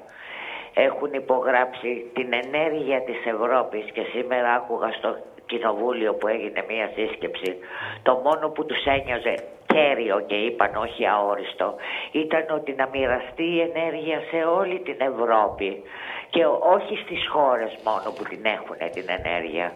Μην ξεχνάτε ότι η Μέρκελ είπε ότι από το 2022 θέλει να καταργήσει την πυρηνική ενέργεια, όλα τα πυρηνικά της εργοστάσια. Από κάπου πρέπει να πάρει αυτή την ενέργεια. Μας κρατάνε λοιπόν δέσμιους όλα αυτά τα συμφέροντα. Να μην φοβηθεί ο ελληνικός λαός, το ξαναλέω. Να μην φοβηθεί. Την υποτίμηση μας την έχουν κάνει έτσι κι αλλιώς. Και αν συνεχίσουν έτσι θα την κάνουν ακόμα μεγαλύτερη. Γιατί κόψε μισθούς, κόψε συντάξεις, βγάλε ήλωτες να δουλεύουν για 3 και 60 και πλήρωνε ακόμα και τη μόλυνση της ατμόσφαιρας για την ενέργεια που θα παράγεις. Τα έχουν φάει όλα. Μας τελειώσανε. Να προχωρήσει η κυβέρνηση. Τον, ο διορχεμένο στη βροχή δεν τη φοβάται, κύριε. Μάλιστα. Και να πληρώσουν αυτοί που τα έχουν φάει όλα αυτά τα χρόνια να καταθέσουν τις περιουσίες τους υπέρ του ελληνικού λαού.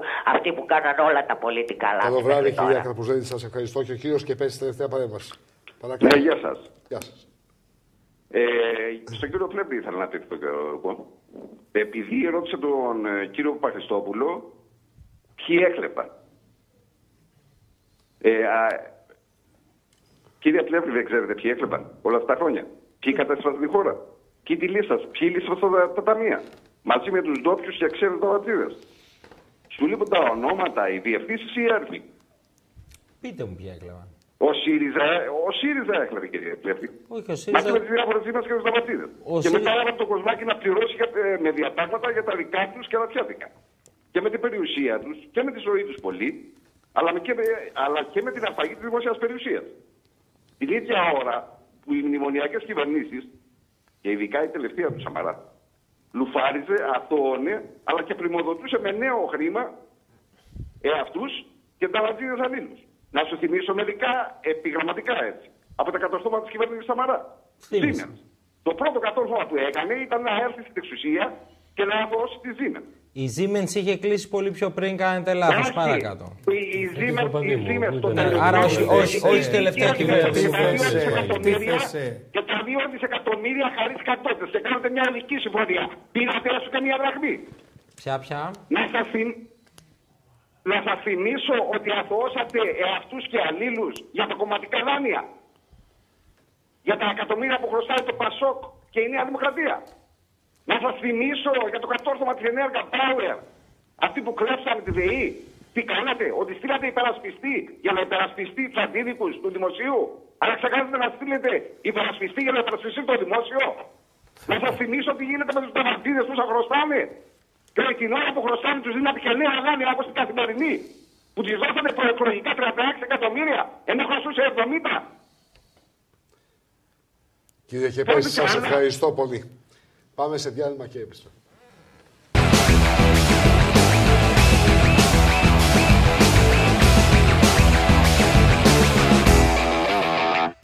Επιστρέφουμε για το τρίτο μέρος της ε, εκπομπής. Τώρα, επειδή συζητάμε τα οικονομικά, συζητάμε των, των ε, συντάξεων, των απαιτήσεων των δανειστών, υπάρχουν και άλλα πολύ μεγάλα θέματα όπως η ανίποτη τραγωδία στη Μεσόγειο και το τεράστιο ζήτημα του μετα- μεταναστευτικού. Ο κ. Τσίπρας, ο κ. Ρέντσι ζητούν, ε, ζήτησαν την έκτακτη σύνοδο κορυφής για, το, για τον εφιάλτη της, με, τον, της μετανάστευσης.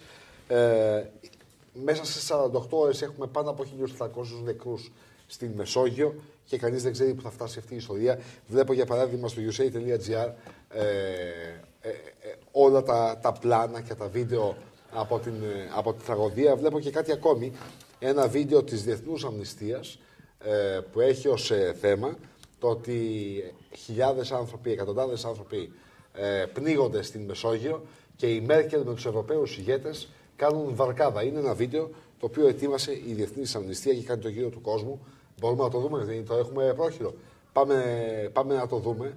Πάμε να το δούμε γιατί έχει σημασία να δούμε και τα πλάνα και να δούμε το πώς ακριβώς ε, σχολιάζει η Διεθνής Αμνηστία τη στάση της ε, παγκόσμιας, της ευρωπαϊκής ηγεσίας απέναντι σε αυτό το τεράστιο ζήτημα.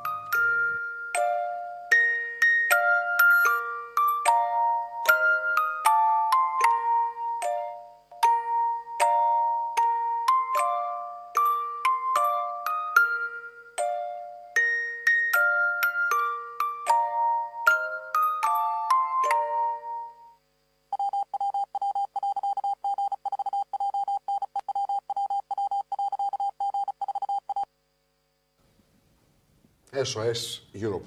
Πάμε τώρα στον κύριο. Εδώ καράβια Παπάκη. πνίγονται και οι Ναι, ηγέτες μα ναι, μα ναι. αρμενίζουν. Και ε, μάλιστα το, το βίντεο δείχνει παρακάτω ότι υπάρχουν πτώματα γύρω τους, τα οποία επιπλέον μετά από ένα ακόμη Πάντως, ναυάγιο με Επιτρέψτε μου να ανθρώπινες πω ψυχές. απλά κάτι. Παρακαλώ. Ξαφνικά, και το θεωρώ και υποκριτικό και από την πλευρά μας, υπάρχει τηλεοπτική ευαισθησία.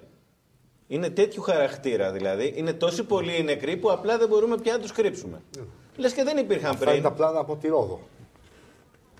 Αυτό είναι τα πλάνα από τη, από τη Ρόδο. Το σημερινό ναυάγιο. Έτσι, Λοιπόν, που- εγώ που συγγνώμη, έσκασε επειδή στα ξέρετε βράχια και το- την προϊστορία μου στις, ε, στις ειδήσεις και τα λοιπά, εάν δεν υπήρχε η χθεσινή Λαπεντούζα με τους 700-900, άγνωστος ο αριθμός, Δεν υπήρχε. σήμερα αυτό το θέμα δεν θα έπαιζε. Δεν θα έπαιζε. Θα μιλάγαμε για ένα ε, ναυάγιο τεσσάρων ανθρώπων στη Ρόδο και θα ήταν 50 λέξεις Δεν μονόστιλα. ήταν τέσσερις, Γιώργο μου. Το Ήταν ξέρω δεν τέσσερις. ήταν τέσσερις. Το ξέρω, αλλά σήμερα ασχολούμαστε γιατί υπάρχει η, η εκατόμβη των προηγούμενων Όχι, νεκρών. Εγώ, ε, ε, ε, Μην εντάξει. κρίνεις εξιδίων. Τώρα άστο Εντάξει, γιατί είμαστε και ε, φίλοι και δεν θέλω να λέγω άλλε Τώρα να κουβέντε. σου πω κάτι. Αυτά τα πλάνα και ακόμη και αν δεν υπήρχαν οι εικόνες και η, η τεράστια Ούτε είδηση συνεργείο δεν θα είχε πάει με εκεί. τη φρίκη στη Μεσόγειο, αυτά τα, τα πλάνα είναι, είναι επαρκώς συγκλονιστικά και νομίζω ότι ε, για να μας αμφιτήσουν όλους και να, και να περιγράψουν. Μακάρι και να από- έχουν αποτέλεσμα και από- για να μην γιατί, γκρινιάζω για μόνο. παράδειγμα, για παράδειγμα ε, θα έρθω πάλι σε εσάς, κύριε Πλεύρη, να σας πω ότι διαβάζω τις ανακοινώσεις σας για το μεταναστευτικό και, και, και κάνετε σαν να ανακαλύψατε τώρα το ζήτημα. Σαν να, σαν να έμαθαν. Σαν να οι- γεννήθηκε τώρα, οι κύριε δουλέμποροι ότι βγήκε ο ΣΥΡΙΖΑ κυβέρνηση και λένε πάμε τώρα να κάνουμε πάτη στην Ελλάδα. Και την ίδια ώρα στη Μεσόγειο, έξω από την Ιταλία, έχουμε κα- κάθε μέρα και μία λαπεντούζα. Λοιπόν, ακούστε τι γίνεται για το μεταναστευτικό. Για το μεταναστευτικό. Νομίζω ότι έχω το λόγο, κύριε Παυλόπουλο. Εδώ, για να απαντήσετε, κύριε Παπαξιτόπουλο, αμέσως. Για το μεταναστευτικό, αυτό το οποίο γίνεται είναι το τι συμβολισμούς δίνεις προς τα έξω. Οπωσδήποτε κύματα μετανάστευσης, λαθρομετανάστευσης, προσφυγά κίνηματα θα, ε, κύ- κύματα θα έχεις. Αλλά από την άλλη πλευρά, Ναι. η καλύτερη περίοδος που ήταν η περίοδος δένδια στο Άλλη, διαχειρισμό ναι. αυτό, Ναι. υπήρχε το μήνυμα το ότι υπάρχει μια σκληρή μεταναστευτική πολιτική. Μια πολιτική ότι άμα έμπαινες μέσα στην Ελλάδα δεν θα περιφερώσουν όπως σήμερα που από το Δημοτικό Συμβούλιο βγήκαμε και ξαναείδαμε τις εικόνες της Αθήνας πριν πέντε χρόνια, όπου θέλεις και να λιάζεσαι κατά την Υπουργό Πάλι τα Μετανάστευσης. ίδια. Πάλι τα ίδια. Αντιθέτως, τότε επειδή ο άλλος ήξερε ότι έμπαινε κάπου, ότι φυλάσσεται κάπου, ότι είναι σε συνθήκες κράτησης κάπου, δημιουργούσε συνθήκες Καλά, αποτροπής. στην Ιταλία γιατί πάνε; Εγώ, όπως ξέρεις, Στην- Χουδαλάκη, γιατί στην- έδειξες και, το, και Πάλι στην Ιταλία. Ιταλία πάνε. γιατί πάνε. Και στην Πάλι. Ιταλία πάνε. Και στην, παντού θα πηγαίνουν. Εγώ Να λέω πώς μιλήσω. θα λειτουργεί το κράτος. Αν το κράτος λειτουργεί σε συνθήκες στρατοπέδων που τους κλείνεις, αυτό είναι αποτρεπτικό να επιλέξουν έναν άλλο δρόμο. Έτσι ήταν και ο φράχτης, έτσι ήταν και τα στρατόπεδα. Αν η λογική είναι λογική ανοιχτών συνόρων και μοιράζουμε ταξιδιωτικά έγγραφα, με συγχωρείτε, θα αυξάνονται οι ροές. Και οι ροές πάντως αυτό είναι μια, είναι μια πολιτική εκτίμηση. Να την πάμε παραπέρα την πολιτική εκτίμηση. Να μείνουμε και λίγο στην ακόμα στη πραγματικότητα. διατύπωση που είχατε κάνει, Εγώ- να έχουμε και κανένα νεκρό. Όχι, εγώ επιμένω στη, Σας δια- ρωτάω στη ευθέως. διατύπωση που έχω Έχετε κάνει. κάνει η διατύπωση να έχουμε και κανένα η νεκρό, διατύπωση για που να την, έπαιξε, παραδειγματιστούν. που την έπαιξε και ο κ. Καταλάκης δεν έχω πει ποτέ να έχουμε νεκρό να Εντάξει, παραδειγματιστούν. εντάξει. Το μόνο που έχω πει και το λέω κοιτώντας με ειλικρίνεια τον κόσμο είναι ότι τα ασφαλή σύνορα αναγκαστικά αποδέχονται και απώλειες. Και τι εννοώ, για να μην Εντάξει, υπάρχει παρεξήγηση. Εάν αύριο το πρωί τους λέγαμε, μπείτε όσοι θέλετε, ούτε 300-300 θα μπαίνανε στις βάρκες, ούτε σε συνθήκες που θα είχε μποφόρ θα ερχόντουσαν οι βάρκες. Θα ερχόντουσαν ασφαλώς και δεν θα είχαμε θύματα. Εάν λες ότι εγώ θα τους συλλαμβάνω, αυτομάτως πηγαίνουν σε τρόπους που είναι επικίνδυνοι. Και με συγχωρείτε, είναι υποκρισία, αλλά δυστυχώς Εάν δεν επιλέξεις την πολιτική όσοι πιστοί προσέλθετε και επιλέξεις την πολιτική των συνόρων, θα συμβούν και Τα ατυχήματα. στατιστικά. Και είναι λυπηρό Τα έχετε και πάρα διαβάσει. πολύ λυπηρό. Τα στατιστικά τα έχετε διαβάσει. Πάντως, Υπάρχουν μπορώ στατιστικά να μιλήσω. στοιχεία Κύριε που Καλίνη. αποδεικνύουν ότι αυτό που λέτε δεν να έχει καμία αποδεικνύει. σχέση με την Κύριε πραγματικότητα. Καλίνη, κύριε Καμία Καλίνη. σχέση. Ίσα ίσα Παρακαλώ. Η αύξηση ήταν μέσα στο 2014 και το γνωρίζετε πολύ Η καλά. αύξηση, μιλήσω. η αύξηση δεν ήταν το 2014. Δέστε και το τα γνωρίζετε στοιχεία καλά. της Στα ΥΠΑ της χερσαία δεν Αρμοστίας. υπήρχε αύξηση. Με και- συγχωρείτε. Και μην ξεχνάτε ότι έγινε ένας πόλεμος. Ειλικρινά, ειλικρινά. Γιατί στη Συρία δεν προέκυψε ειλικρινά, σήμερα ο πόλεμος. Ειλικρινά, ορισμένες φορές κάτω από το πρίσμα της κομματικής σκοπιμότητας. Όχι, εσείς το έχετε αυτό. Σας το επιστρέφω. απίθανα πράγματα. Σας το απίθανα επιστρέφω. πράγματα. Εσείς Στην λέτε απίθανα Ιταλία πράγματα. βλέπετε Άμα το σας έλεγα κύμα. εγώ, κύριε Βλέπετε το κύμα που υπάρχει Άμα σας- και εσείς λέτε ότι η Ελλάδα Άμα- άμα έχει σα- δημιουργήσει άμα το σας πρόβλημα. έλεγα εγώ ότι λιάζονται οι μετανάστες, τι θα Εντάξει, θεωρούσατε, εντάξει, τώρα τι να σου πω. ρατσιστικό ή μη ρατσιστικό; Εντάξει, τώρα Για τι να να μην σου προσέχουμε. Αν το λέει ο Πλεύρης, θα λέγατε ο ρατσιστής που λέει ότι λιάζονται οι άνθρωποι. Να, και το λέει υπουργός Μετανάστευσης και λέτε εντάξει τι Εντάξει, έγινε; άλλα λόγια να αγαπιόμαστε Ορίστε, τώρα. Άλλο σου κύριε- λέω, άλλο μου ορίστε, απαντάς. κύριε Παπαξιτόπουλο. Θέλω να παρακαλώ. κάνω καταρχήν μια δημόσια Και δήλωση. κύριος κύριε. Μαριώτας, παρακαλώ πολύ. Ορίστε. Θέλω να κάνω μια δημόσια δήλωση και πιστεύω ότι το ίδιο σκέφτεται σύσσωμη η κοινοβουλευτική ομάδα του ΣΥΡΙΖΑ και η δική μας. Αν, γιατί τα, η κήρυξη των βουλευτικών προνομίων ούτε μ' άγγιξε, ούτε μ' αγγίζει, ούτε θα μ' αγγίξει. Αν κάποιος κατέβαζε μισθούς συντάξεις ή συνέχιζε τις απολύσεις, εγώ την παρέτησή μου την έχω παραδώσει και να με κρίνετε δημοσίως αν δεν το εφαρμόσω. Κλείνω αυτό το πράγμα και πάω στα σημερινά εγώ κύριε Παυλόπουλε. Και θέλω να πω το εξής. Ακούσαμε τις τελευταίες μέρες διπλό νόμισμα. Ακούσαμε χρεοκοπία Για μέσα αυτό στο... που βλέπουμε θα κάνετε σχόλια. Ναι, ναι, ακούστε με. Ναι, Καταρχήν αλλά είμαι πώς ο θα μόνος- γίνει, δηλαδή, με συγχωρείτε πολύ. Δεν θέλετε να πω τίποτα Μία για τα ώρα προηγούμενα. συζητάμε για τα οικονομικά και για τα αποθεματικά των, των, των Να πάω στο οργανισμών μεταναστευτικό. τοπικής αυτοδιοίκησης. Έχω- ωραία. Βλέπουμε τα πλάνα Μια από την ώρα τα αντίρρηση. σημερινά. Καμιά Δεν θα αντίρρηση. κάνουμε μια, μια, Καμιά μια αντίρρηση. σχόλια. Καμιά Ελάτε σας αντίρρηση. παρακαλώ. Καμιά αντίρρηση, ακούστε με λίγο. Είναι ένα, τα νούμερα είναι εκρηκτικά. Επειδή έτυχε να πάω δύο φορές στη Συρία, όχι μία, σαν Σωστό. αντιπρόεδρος των γιατρών της Ε, Συρίας. λοιπόν, τότε- Να σας πω λοιπόν ότι 3 εκατομμύρια Σύριοι αυτή τη στιγμή είναι στα σύνορα με την Ιορδανία, την Τουρκία και το Λίβανο και πάνω από 100.000 που κάθε μέρα αυξάνουν είναι στα παράλια της Τουρκίας έτοιμοι να μπουκάρουν στην Ελλάδα. Στη Λιβύη είναι τρεις ομάδες που αυτή τη στιγμή σφάζονται και υπάρχει κύμα απίστευτο και οι ορδές αυτές των ε, προσφύγων και οικονομικών μεταναστών θα αυξάνονται μέρα με τη μέρα. Έχω πει κύριε Παυλόπουλε και άλλες φορές Δεν μπορεί μια χώρα να το λύσει μόνη της αυτό το πρόβλημα. Είναι καθαρά πρόβλημα της Ευρωπαϊκής Ένωσης για να μην πω και παγκόσμιο. Και λέω το εξής ότι η συγκυρία, δηλαδή αυτό που είπε ο κύριος Κουδαλάκης, ότι αν δεν πεθαίνανε οι 700 ίσως και 900 κύριε, ξέρετε, κύριε Κουδαλάκη, η, θα έκανε πως δεν βλέπει και πως δεν καταλαβαίνει. Τη μικροψυχία τώρα της Νέας Δημοκρατίας, του Πασό και των άλλων δεν τη σχολιάζω. Λέω μόνο το εξής. Ότι όσο είναι καιρός, η Διεθνής Αμνηστία έχει κάνει συγκεκριμένες προτάσεις. Συγκεκριμένες προτάσεις και δεν την ακούει κανένας.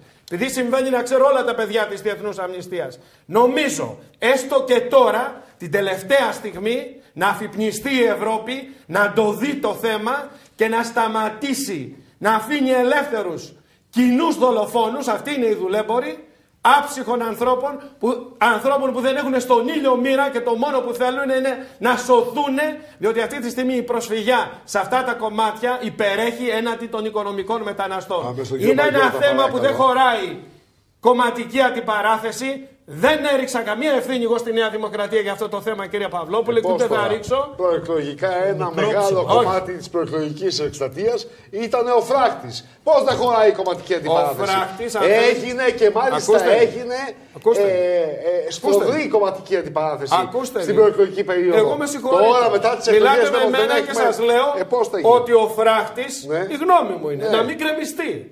Σας λέω ότι η γνώμη μου. Μπορώ να έχω δική μου γνώμη. Εσείς πώς δεν μπορείτε. Τι Όλοι λέω; μπορούν, φαντάζομαι. Δεν σώνεται όμως το Συμφωνεί πράγμα και με παρένθεση φράκτη, εξάλλου. κύριε Ε, βέβαια. Παυλόπουλε. Ούτε αν η αιτία του κακού δεν εκλείψει, θα σταματούσουν αυτά τα ρεύμα, προσφε- ρεύματα προσφύγων και οικονομικών μεταναστών. Δεν υπάρχει τέτοια περίπτωση. Ορίστε, κύριε Μπαριώτα. Λοιπόν, νομίζω ότι όντως δεν προσφέρεται ούτε για συγκρουσιακές λογικές και Γίνεται πάντως. κουβέντες. Γίνεται, Νομίζω ότι είναι από τα κακά που γίνονται στην Ελλάδα εδώ και πολλά χρόνια. Η ελαφρομετανάστευση, η μετανάστευση, το προσφυγικό είναι ένα πολύ, όπως θέλετε πείτε το, μιλάμε για απελπισμένους φτωχούς ανθρώπους οι οποίοι προσπαθούν να βρουν μοίρα στον ήλιο μοίρα και αυτό είναι στην ουσία όπως και να τους βαφτίσουμε, από όπου και αν προέρχονται. Νομίζω ότι δεν, προε- δεν προσφέρεται. Δυστυχώς υπάρχουν πολλοί παράμετροι. Υπάρχει η ευθύνη της Ευρώπης και γενικά της Δύσης με την αποσταθεροποίηση όλων των καθεστώτων στη Βόρεια Αφρική και στη Μέση Ανατολή που δημιουργεί το πρόβλημα, το εντείνει αν θέλετε. Υπάρχει η υποχρέωση της Ευρώπης απέναντι της Ελλάδος που είναι εγκλωβισμένη στο, Λουξεμβούργο, στο, με συγχωρείτε, στο Δουβλίνο 2. Υπάρχουν όλες αυτές τις παράμετροι και υπάρχει και ένα μεγάλο κενό στη χώρα όπου αντί να συζητάμε ουσιαστικά και ρεαλιστικά λύσεις οι οποίες και να καλύπτουν το ανθρωπιστικό μέρος της κρίσης και να καλύπτουν αυτούς τους ανθρώπους και να τους βοηθάνε, αλλά και να θωρακίζουν τη χώρα, συγκρουόμαστε με τους συνήθεις ρυθμούς οι οποίοι δεν οδηγούν πουθενά. Έχουμε αποφασίζουσες λογικές στρατοπέδων συγκέντρωσης και στρατοπέδων εκτόπισης στα νησιά, οι οποίες με κάνουν να ανατριχιάζω, έως ε, δεν ξέρω πώς θα τις χαρακτηρίσω, απόψεις των ανοιχτών συνόρων και να περιθάψουμε τους πάντες. Όπως είπε ο κ. Παπαχριστόπουλος, είναι μερικά εκατομμύρια, δεν ξέρω αν είναι τρία ή δυόμιση. Πάντως είναι πολύ περισσότερα από όσα μπορούμε να διαχειριστούμε. Δεν υπάρχει καμία αμφιβολία επί του θέματος. Αυτό που θέλουμε λοιπόν είναι πολιτική. Θέλουμε και πολιτική φύλαξη των συνόρων και εδώ πρέπει να διεκδικήσουμε από την Ευρώπη πόρους, ανθρώπινους και οικονομικούς, γιατί τους οφείλει. Είμαστε το σύνορό της. Είμαστε, Frontex τι θέλει είμαστε, είμαστε μπροστά. Τι θέλουμε τη Frontex; Τι θέλουμε τη Frontex σε πιο ουσιαστικό Να ρόλο χρηματοδοτηθεί και σε, όμως, μεγαλύτερο, δεν παίρνει χρήματα. και, σε μεγαλύτερη, και σε μεγαλύτερη ένταση. Θέλουμε το φράχτη, θέλουμε έλεγχο των συνόρων, ταυτόχρονα όμως θέλουμε ανθρώπινες συνθήκες διαβίωσης για αυτούς που τελικά περνάνε μέσα στη χώρα. Θέλουμε, αν είναι δυνατόν, παροχή περίθαλψης και εκπαίδευσης. Έχουμε κάνει 11 συγκεκριμένες προτάσεις, οι οποίες προσπαθούν να καλύψουν τα πάντα σε ένα θέμα το οποίο δεν έχει καλή λύση. Αυτή είναι η αλήθεια. Είμαστε υπό την Φέρτε πίεση. λίγο από εδώ και λίγο από Ναι. εκεί δηλαδή. Είμαστε, είμαστε υπό την πίεση, πρέπει να παραδεχτούμε την ουσία του. Η ουσία είναι ότι Όχι, είμαστε, εδώ υπό έχεις την, σωστή πίεση, θέση το είμαστε ποτάμι. υπό την πίεση μιας ανθρωπιστικής κουβέντα να πω, κρίσης. κύριε. Δεν νομίζω Η ότι- οποία Αμέσως, δεν, αμέσως. ε, γιατί πρέπει να θυμηθούμε την ουσία, την πραγματική έννοια της ανθρωπιστικής κρίσης. Ανθρωπιστική κρίση είναι στη Συρία, ανθρωπιστική κρίση είναι στο Λίβανο, ανθρωπιστική κρίση στο Λίβανο όχι τόσο πολύ αυτές τις μέρες ευτυχώς. Είναι στη Λιβύη, ήθελα να πω. Έτσι, εκεί υπάρχει ανθρωπιστική κρίση. όχι εδώ η στην οποία Ελλάδα, σπρώχνει ναι. εδώ υπάρχει τεράστιο πρόβλημα. Και υπάρχει όχι εδώ. κρίση, υπάρχουν νεόπτωχοι, υπάρχει φτώχεια. Προφανώς υπάρχει δυνατότητα να βοηθήσουμε κάποιους ανθρώπους ακόμη και σε αυτή την κατάσταση. Είμαστε η 36η χώρα στον κόσμο. Από την 23η θέση κάποια στιγμή διολυστήσαμε στη 36η. Είναι ένα δράμα. Οι άνθρωποι αυτοί βρίσκονται πολύ χαμηλότερα, βρίσκονται κοντά στο μηδέν. Αν μπορούμε να βοηθήσουμε κάποιους αυτούς, πρέπει να τους βοηθήσουμε. Πάμε στο δεν Λευτή, το είναι λύση Μαλίκα, δίκιο όμως, στο Γιώργο το και τελειώνω με Χουδαράκη. αυτό, έχετε δίκιο, δεν είναι λύση όμως ούτε το να κυκλοφορούν νηστικοί και αφρόντιστοι στις πλατείες και στα κάτω παντήσια όπως γινόταν, ούτε να κυκλοφορούν σε καταβλισμούς, ούτε να πεθάνουν από την πείνα στην Αθήνα αντί να πεθαίνουν από την πείνα στα μικρασιατικά παράλια. Πρέπει να βρούμε μια πολιτική τέτοια που να εξασφαλίζει τα πάντα. Πάμε, σας όσο παρακαλώ. μπορούμε. Στο USA διαβάζω πάντως και για κάτι δηλώσεις του Τσίπρα για τον Αμερικάνο πρέσβη σχετικά με το ξηρό.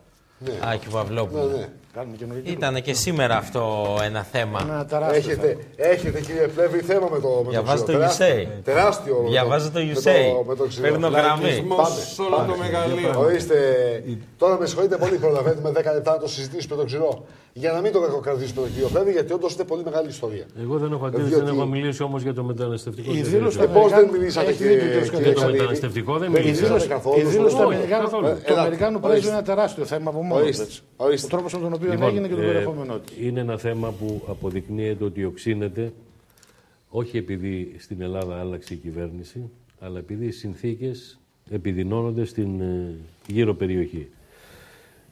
Απόδειξη η Ιταλία. Αλλά αυτό είναι το λιγότερο που είναι το θέμα της αντιπαράθεσης η οποία προκύπτει. Η ουσία του θέματος είναι ότι θα πρέπει να υπάρξουν γενναία μέτρα, το λέω αυτό γιατί είδα παρενθετικά το λέω, είδα την ανακοίνωση των 10 σημείων της Ευρωπαϊκής Ένωσης που έχω την εντύπωση ότι υπάρχει ένας προσανατολισμός περισσότερο σε κατασταλτικά μέτρα που δεν θα λύσουν το πρόβλημα. Οπωσδήποτε υπάρχει ανάγκη φύλαξης των συνόρων. Υπάρχει όμως μεγαλύτερη ανάγκη στο βαθμό που υπάρχουν, αυτό είναι ένα προσφυγικό κύμα που έρχεται κυρίως, να σεβαστούμε τις διεθνείς συνθήκες, να μπορέσουμε να τους παράσχουμε σε αυτούς τους ανθρώπους μια αξιοπρεπή διαβίωση για το σύντομο διάστημα που πρέπει να μείνουν εδώ και από εκεί και πέρα αυτό που είναι το βασικό είναι η αναλογική κατανομή σε όλη την Ευρώπη. Αυτό είναι ένα κεντρικό ζήτημα και όχι μόνο με αναθεώρηση συμφωνίας. Η πρόταση που έκανε ο, ε, ο ΣΥΡΙΖΑ και η κυβέρνηση, του, ε, η κυβέρνηση και ο Πρωθυπουργός Αν- αν ζητήσουμε. είναι, ε, όχι, όχι, να γίνει από τώρα συμφωνία για αναλογική κατανομή και στις χώρες της Βόρειας Ευρώπης, παντού, σε όλη την Ευρώπη. Δεν μπορούμε να είμαστε εδώ στη Μεσόγειο, εδώ στο Νότο, να είμαστε αποθήκη ανθρώπινων ψυχών. Μάλιστα. Ωραία. Έχουμε 8 λεπτά στη διάθεσή μας. Παρακαλώ πολύ, ευτύχη. Ε, από σένα ξεκινώ για την υπόθεση ξηρού. Τεράστιο πρόβλημα. Τεράστιο ζήτημα. Για δύο λόγους, για να είμαι σύντομος. Ο πρώτος είναι ότι η κυβέρνηση αυτή επέλεξε, κατά τη γνώμη μου αψυχολόγητα, να φέρει σε πρώτη προτεραιότητα ε, ένα θέμα που δημιουργεί πολύ μεγάλα ερωτήματα και στην κοινή γνώμη θα έλεγα και, και σας απέναντι στο θέμα της τρομοκρατίας. Και το δεύτερο είναι ότι η κυβέρνηση δημιουργεί τριβές, σοβαρές τριβές με, την, ε, με τις Ηνωμένες Πολιτείες σε μια περίοδο που προσδοκούσε βοήθεια από τις ΗΠΑ και στήριξη. Και θα έλεγα σε έναν βαθμό την είχε σε κρίσιμα ζητήματα όπως αυτό με την Ευρωπαϊκή Ένωση. Αυτά τα δύο ζητήματα είναι τα κρίσιμα κατά την άποψή μου. Γιώργο Χουδαδάκη. Θα προσθέσω σε αυτά που ευτύχησε με τα οποία συμφωνώ απολύτως. Πρόκειται για γέλα ιστορικού μεγέθους, κατά τη γνώμη μου. Διότι συμφωνώ απόλυτα στην κεντρική γραμμή του ΣΥΡΙΖΑ ότι το ζήτημα λύνεται μόνο πολιτικά και πολιτικές συμμαχίες αυτή τη στιγμή φάνηκε να έχουμε κυρίως με τις ΗΠΑ. Το να σηκώνει το τηλέφωνο ο Ομπάμα και να μιλάει με τη Μέρκελ και να της λέει βρείτε τα, θέλει μεγάλο ταλέντο, μην πω τίποτα χειρότερο, για να το μετατρέψεις σε όλα αυτά που διαβάσαμε σήμερα για μη φιλικές πράξεις, για απελευθέρωση επί της ουσίας ε, τρομοκρατών που μπορεί να ξανακάνουν τα ίδια κτλ. κτλ. Θέλω να θυμίσω ότι για τους Αμερικανούς το θέμα της τρομοκρατίας προσπερνώ τη συμμαχία με τη Ρωσία, τους αγωγούς κλπ. τα οποία προφανέστατα δεν τους αρέσουν. Αλλά το θέμα της τρομοκρατίας είναι αντανακλαστικό ζήτημα για αυτούς. Δεν θα σκεφτούν, θα αντιδράσουν κατευθείαν. Είναι αυτό που είχε πει ο Λίνκολ ότι ο, ο, ο, ο φίλος σου είναι αυτός που έχει τους ίδιους εχθρούς με σένα. Θεωρούν λοιπόν ότι από τη στιγμή που δεν έχουμε τους ίδιους εχθρούς, ο ξηρός για μας δεν είναι εχθρός πια, δεν πάψαμε να είμαστε φίλοι. Και επειδή μίλησε για Αμερικανό πρόεδρο, θα κολλήσω κι άλλον ένα καπάκι, γιατί το θεωρώ τρο- σας λέω τρομερό ταλέντο, ας πούμε. Ε, Βρετανός, Μια φράση που είχε πει ο Ρούσβελτ. Ότι λέει τα 9 δέκατα της σοφίας είναι να διαλέξει την κατάλληλη στιγμή.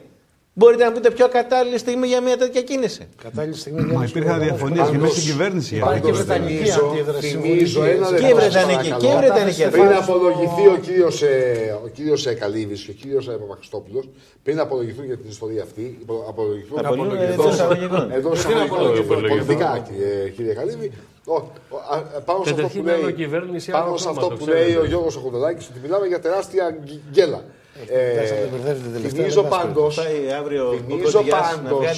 ότι ο κύριος Χριστόδουλος Ξηρός επί μιας άλλης κυβέρνησης, επί της προηγούμενης κυβέρνησης, έπαιρνε άδειες αβέρτα. Ναι, αλλά δεν του. Πήγαινε βόλτες μέσα. Αλήθεια, δεν Σαν κύριος έφυγε. Και τσακωνόταν ο κύριος Δέντια με τον κύριο Αθανασίου για το ποιος είχε την ευθύνη τη παρακολούθηση του αρχιτρομοκράτη. Και έβγαλε και βίντεο μανιφέστο. Το ξεχάσατε τώρα αυτό. Παρόλα αυτά. Είναι γέλα. Όχι, για, ακούστε, για να. Λεγίστου μεγέθους το... αυτό που κάνει η κυβέρνηση. Να, να πω και εγώ το Μην εδώ πέρα υπάρχουν δύο επίπεδα. Το ένα επίπεδο είναι οπωσδήποτε της Διεθνούς Συμμαχίας που είναι απαράδεκτο. Και είναι και πολύ ευαίσθητο και για τους Αμερικάνους και αυτό για τους Αυτό δεν το σκεφτόσασταν όταν σας έβγαινε ο ξύλο. Και επειδή και μας έβγαινε. Ακούστε γίνεται. Ποια είναι η διαφορά εδώ πέρα και μη την υποτιμάτε. Η διαφορά είναι. Δεν είναι ανενεργός. Η διαφορά δεν είναι, ανάπηρος. Η διαφορά είναι, κύριε Παυλόπουλε, και είναι ναι. μέγιστη διαφορά. Ναι, ότι ενώ υπήρχε θεσμικό πλαίσιο για την ανήκε στο βλάβη και κάποιος μπορεί να βγει Γιάννη και στο βλάβη, αλλά με απόφαση δικαστηρίου έρχεται η κυβέρνηση για πρώτη φορά στα χρονικά και νομοθετεί ότι υποχρεωτικά κάποιος αφήνεται χωρίς παρέμβαση κανένα δικαστικού οργάνου φωτογραφικά αν έχει 80% αναπηρία και έχει κάνει 10 χρόνια φυλακή. Κύριε, Κύριε μαζί σας είναι συμφωνώ με το χουδαλάκι Βγαίνει ένας άνθρωπος. Ότι μιλάμε ε, για τεράστια ακούστε, γκάφα. Όχι, δεν είναι γκάφα. Με συγχωρείτε. Όχι. Στη στιγμή δεν που είναι γκάφα. Αλλά μην μου πείτε όχι. ότι εσείς όταν, όταν δίνατε κύριε το πάσο στον Τζιρό να πάει να οργανώσει τον πόλεμο. Μην πέφτετε στην παγίδα. Δεν είναι γκάφα είναι η ιδεολογική επιλογή του ΣΥΡΙΖΑ. Ωραία. Πήγαινα. Άρα η δική σας τα ακούστε. Ακούστε γιατί. Η δική. Να μην τελειώσω. Κύριε Παύλο, εσεί εσεί βεβαίως κάναμε κάφα. Ακούσα το λέω. Βεβαίως κάναμε κάφα που παίρνει αδέσιο. Α, επειδή όμως βγαίνουν κάποιοι και λένε. Πέντε φορές μωρένα. Ε, πέντε άδειες ερήπη. Πέντε άδειες ερήπη. Για μισό λεπτό, επειδή δεν με αφήνετε ε, εδώ πέρα μια λέτε ότι διακόπτε και με διακόπτε. Θεωρείται ίδιο πράγμα. Να είναι μια γκάφα. Γκάφα, τελείως. Και να ναι. φεύγει. Και ίδιο πράγμα να έρχεται ένας και να νομοθετεί ότι ο 5 δις, 5 ισόβια, αυτός που έχει 5 ισόβια ποινή, επειδή σκότωνε ανθρώπους, θα βγει έξω. Το θεωρεί ταξιακά το ίδιο πράγμα. Ορίστε, με την ψήφο των Ανέλ. Ορίστε, κύριε Καλή. Αυτή είναι η ντροπή των Ανέλ. Σύντομες απαντήσεις έχουμε δύο λεπτά. Ξέρετε ότι υπάρχουν καταδικαστικές αποφάσεις από την Ευρωπαϊκή Ένωση, γιατί, ειδικά για την περίπτωση του Σύρου. Για τι συνθήκες κράτηση, κύριε ναι, Καλή. Λοιπόν, άρα λοιπόν. Όχι γιατί λοιπόν, Άρα λοιπόν. Μιλάμε για έναν άνθρωπο τώρα. Δραματοποιούμε μια κατάσταση. Ένας άνθρωπος που έχει 98% αναπηρία. Με συγχωρείτε. Δεν καταλαβαίνω την ευαισθησία σας, κύριε Πλεύρη. Όταν ο κύριος Μητσοτάκης έλεγε για, για τους κουντικού να βγουν έξω, δεν είχατε κανένα πρόβλημα. Δεν είχατε κανένα πρόβλημα. Σας παρακαλώ λοιπόν. Εγώ λέω λοιπόν ότι πρέπει να υπάρξει μια άλλη στάση όσον αφορά το σοφρόνι της χώρα.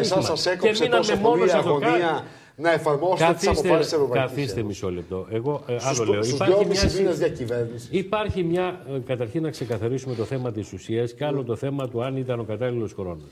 Το θέμα της ουσίας mm. πρέπει να το, να το δούμε Υπάρχει μια εξαιρετικά άσχημη κατάσταση στις φυλακές. Επιχείρησε λοιπόν ο κύριος Παρασκευόπουλος να φέρει ένα πλήρες νομοθέτημα για να αποσυμφορήσει τις φυλακές, σεβόμενο και την ασφάλεια των πολιτών και φυσικά και τα δικαιώματα δεν έβαζε το, Τώρα, από εκεί και πέρα, επί της ουσίας, αυτό που γίνεται είναι αλλαγή του τρόπου κράτησης. Δεν είναι απελευθέρωση του ξύλου. Α αλλαγή του τρόπου κράτησης είναι. Λοιπόν, αλλαγή του τρόπου κράτησης. Λοιπόν, και τώρα, όσον αφορά. Θα αποφυλακιστεί και σπίτι του με Να τελειώσω, είναι φρουρούμενος στο σπίτι. Κύριε λοιπόν, Καλή, τώρα το έκυψε. Με την τροπολογία του κυρίου Παρασκευόπουλου αφορά όλους όσους βρίσκονται σε ανάλογη κατάσταση. Ο λοιπόν, κύριος Παρασκευόπουλος είπε ότι αφορά δύο. Ο κύριος Παρασκευόπουλος στη Βουλή είπε ότι υπάρχουν δύο. Και ένα που απεβίωσε. Ο υπουργός το. Ο υπουργός. Στο μέλλον παρά είναι 20, μπορεί να είναι 30, μπορεί να 40. Λοιπόν και τελειώνω. Είμαι ο μοναδικός που έχω γνώμη και δεν με αφήνετε να πω. Αφήστε που έχετε είστε ο μοναδικό που έχει γνώμη. Είμαι γιατρός και ξέρω με λεπτομέρεια τι ακριβώς έχει ο Σάβα Ξηρός. Τι έχει ο Ξηρό. Για μένα και Παπαδάκη. Παυλόπουλε, Ναι. θέλετε να με αφήσετε να μιλήσω; Έχω ναι, δέκα δεύτερα. Τα ξέρετε Δέκα. όλα. Δέκα Σας δεύτερα λέω- έχω στην έδωση. Δεν έχω, δέκα δεύτερα δεν μπορώ Ε, να δεν μπορώ μιλήσω. άλλο, κύριε Πασχάλη. Σας λέω Συγγνώμη, ότι δεν- έχει δεν από έχω τρία άλλο. συστήματα, είναι ζωντανός νεκρός περιφερόμενος στις φυλακές. Ναι. Κανείς δεν ήθελε να βγει ο ξηρός. Ναι. Μακάρι να υπήρχαν συνθήκες μέσα στις φυλακές Ναι. και να εκθεί την ποινή του όσο είναι. Σας λέω ότι είναι περιφερόμενος ζωντανός νεκρός, είμαι σε θέση να το ξέρω και θα πέθανε μέσα στη φυλακή. Ναι. Τολμάω να σας το πω και σας λέω ότι κάτω από αυτές τις συνθήκες δεν επιτρέπεται τη στιγμή που ούτε αιμοκάθαρση μπορείς να του κάνεις, ούτε απεινιδωτή έχεις, γιατί έχει Υπάρχει εκρηκτικά ανήκε προβλήματα. στο Σβλάβι, Αφήστε κύριε με να τελειώσω. Παπαχριστόπουλε, να Δεν πήγαινε είναι μόνο εκεί. ότι είναι τυφλός, ακούστε με λίγο. Χάρη του Ακούστε κάνατε, λίγο, όχι. χάρη. Κάνετε λάθος. Με την έλλειψη αυτής Χάρη της- στην τρομοκρατία. Όχι κύριε.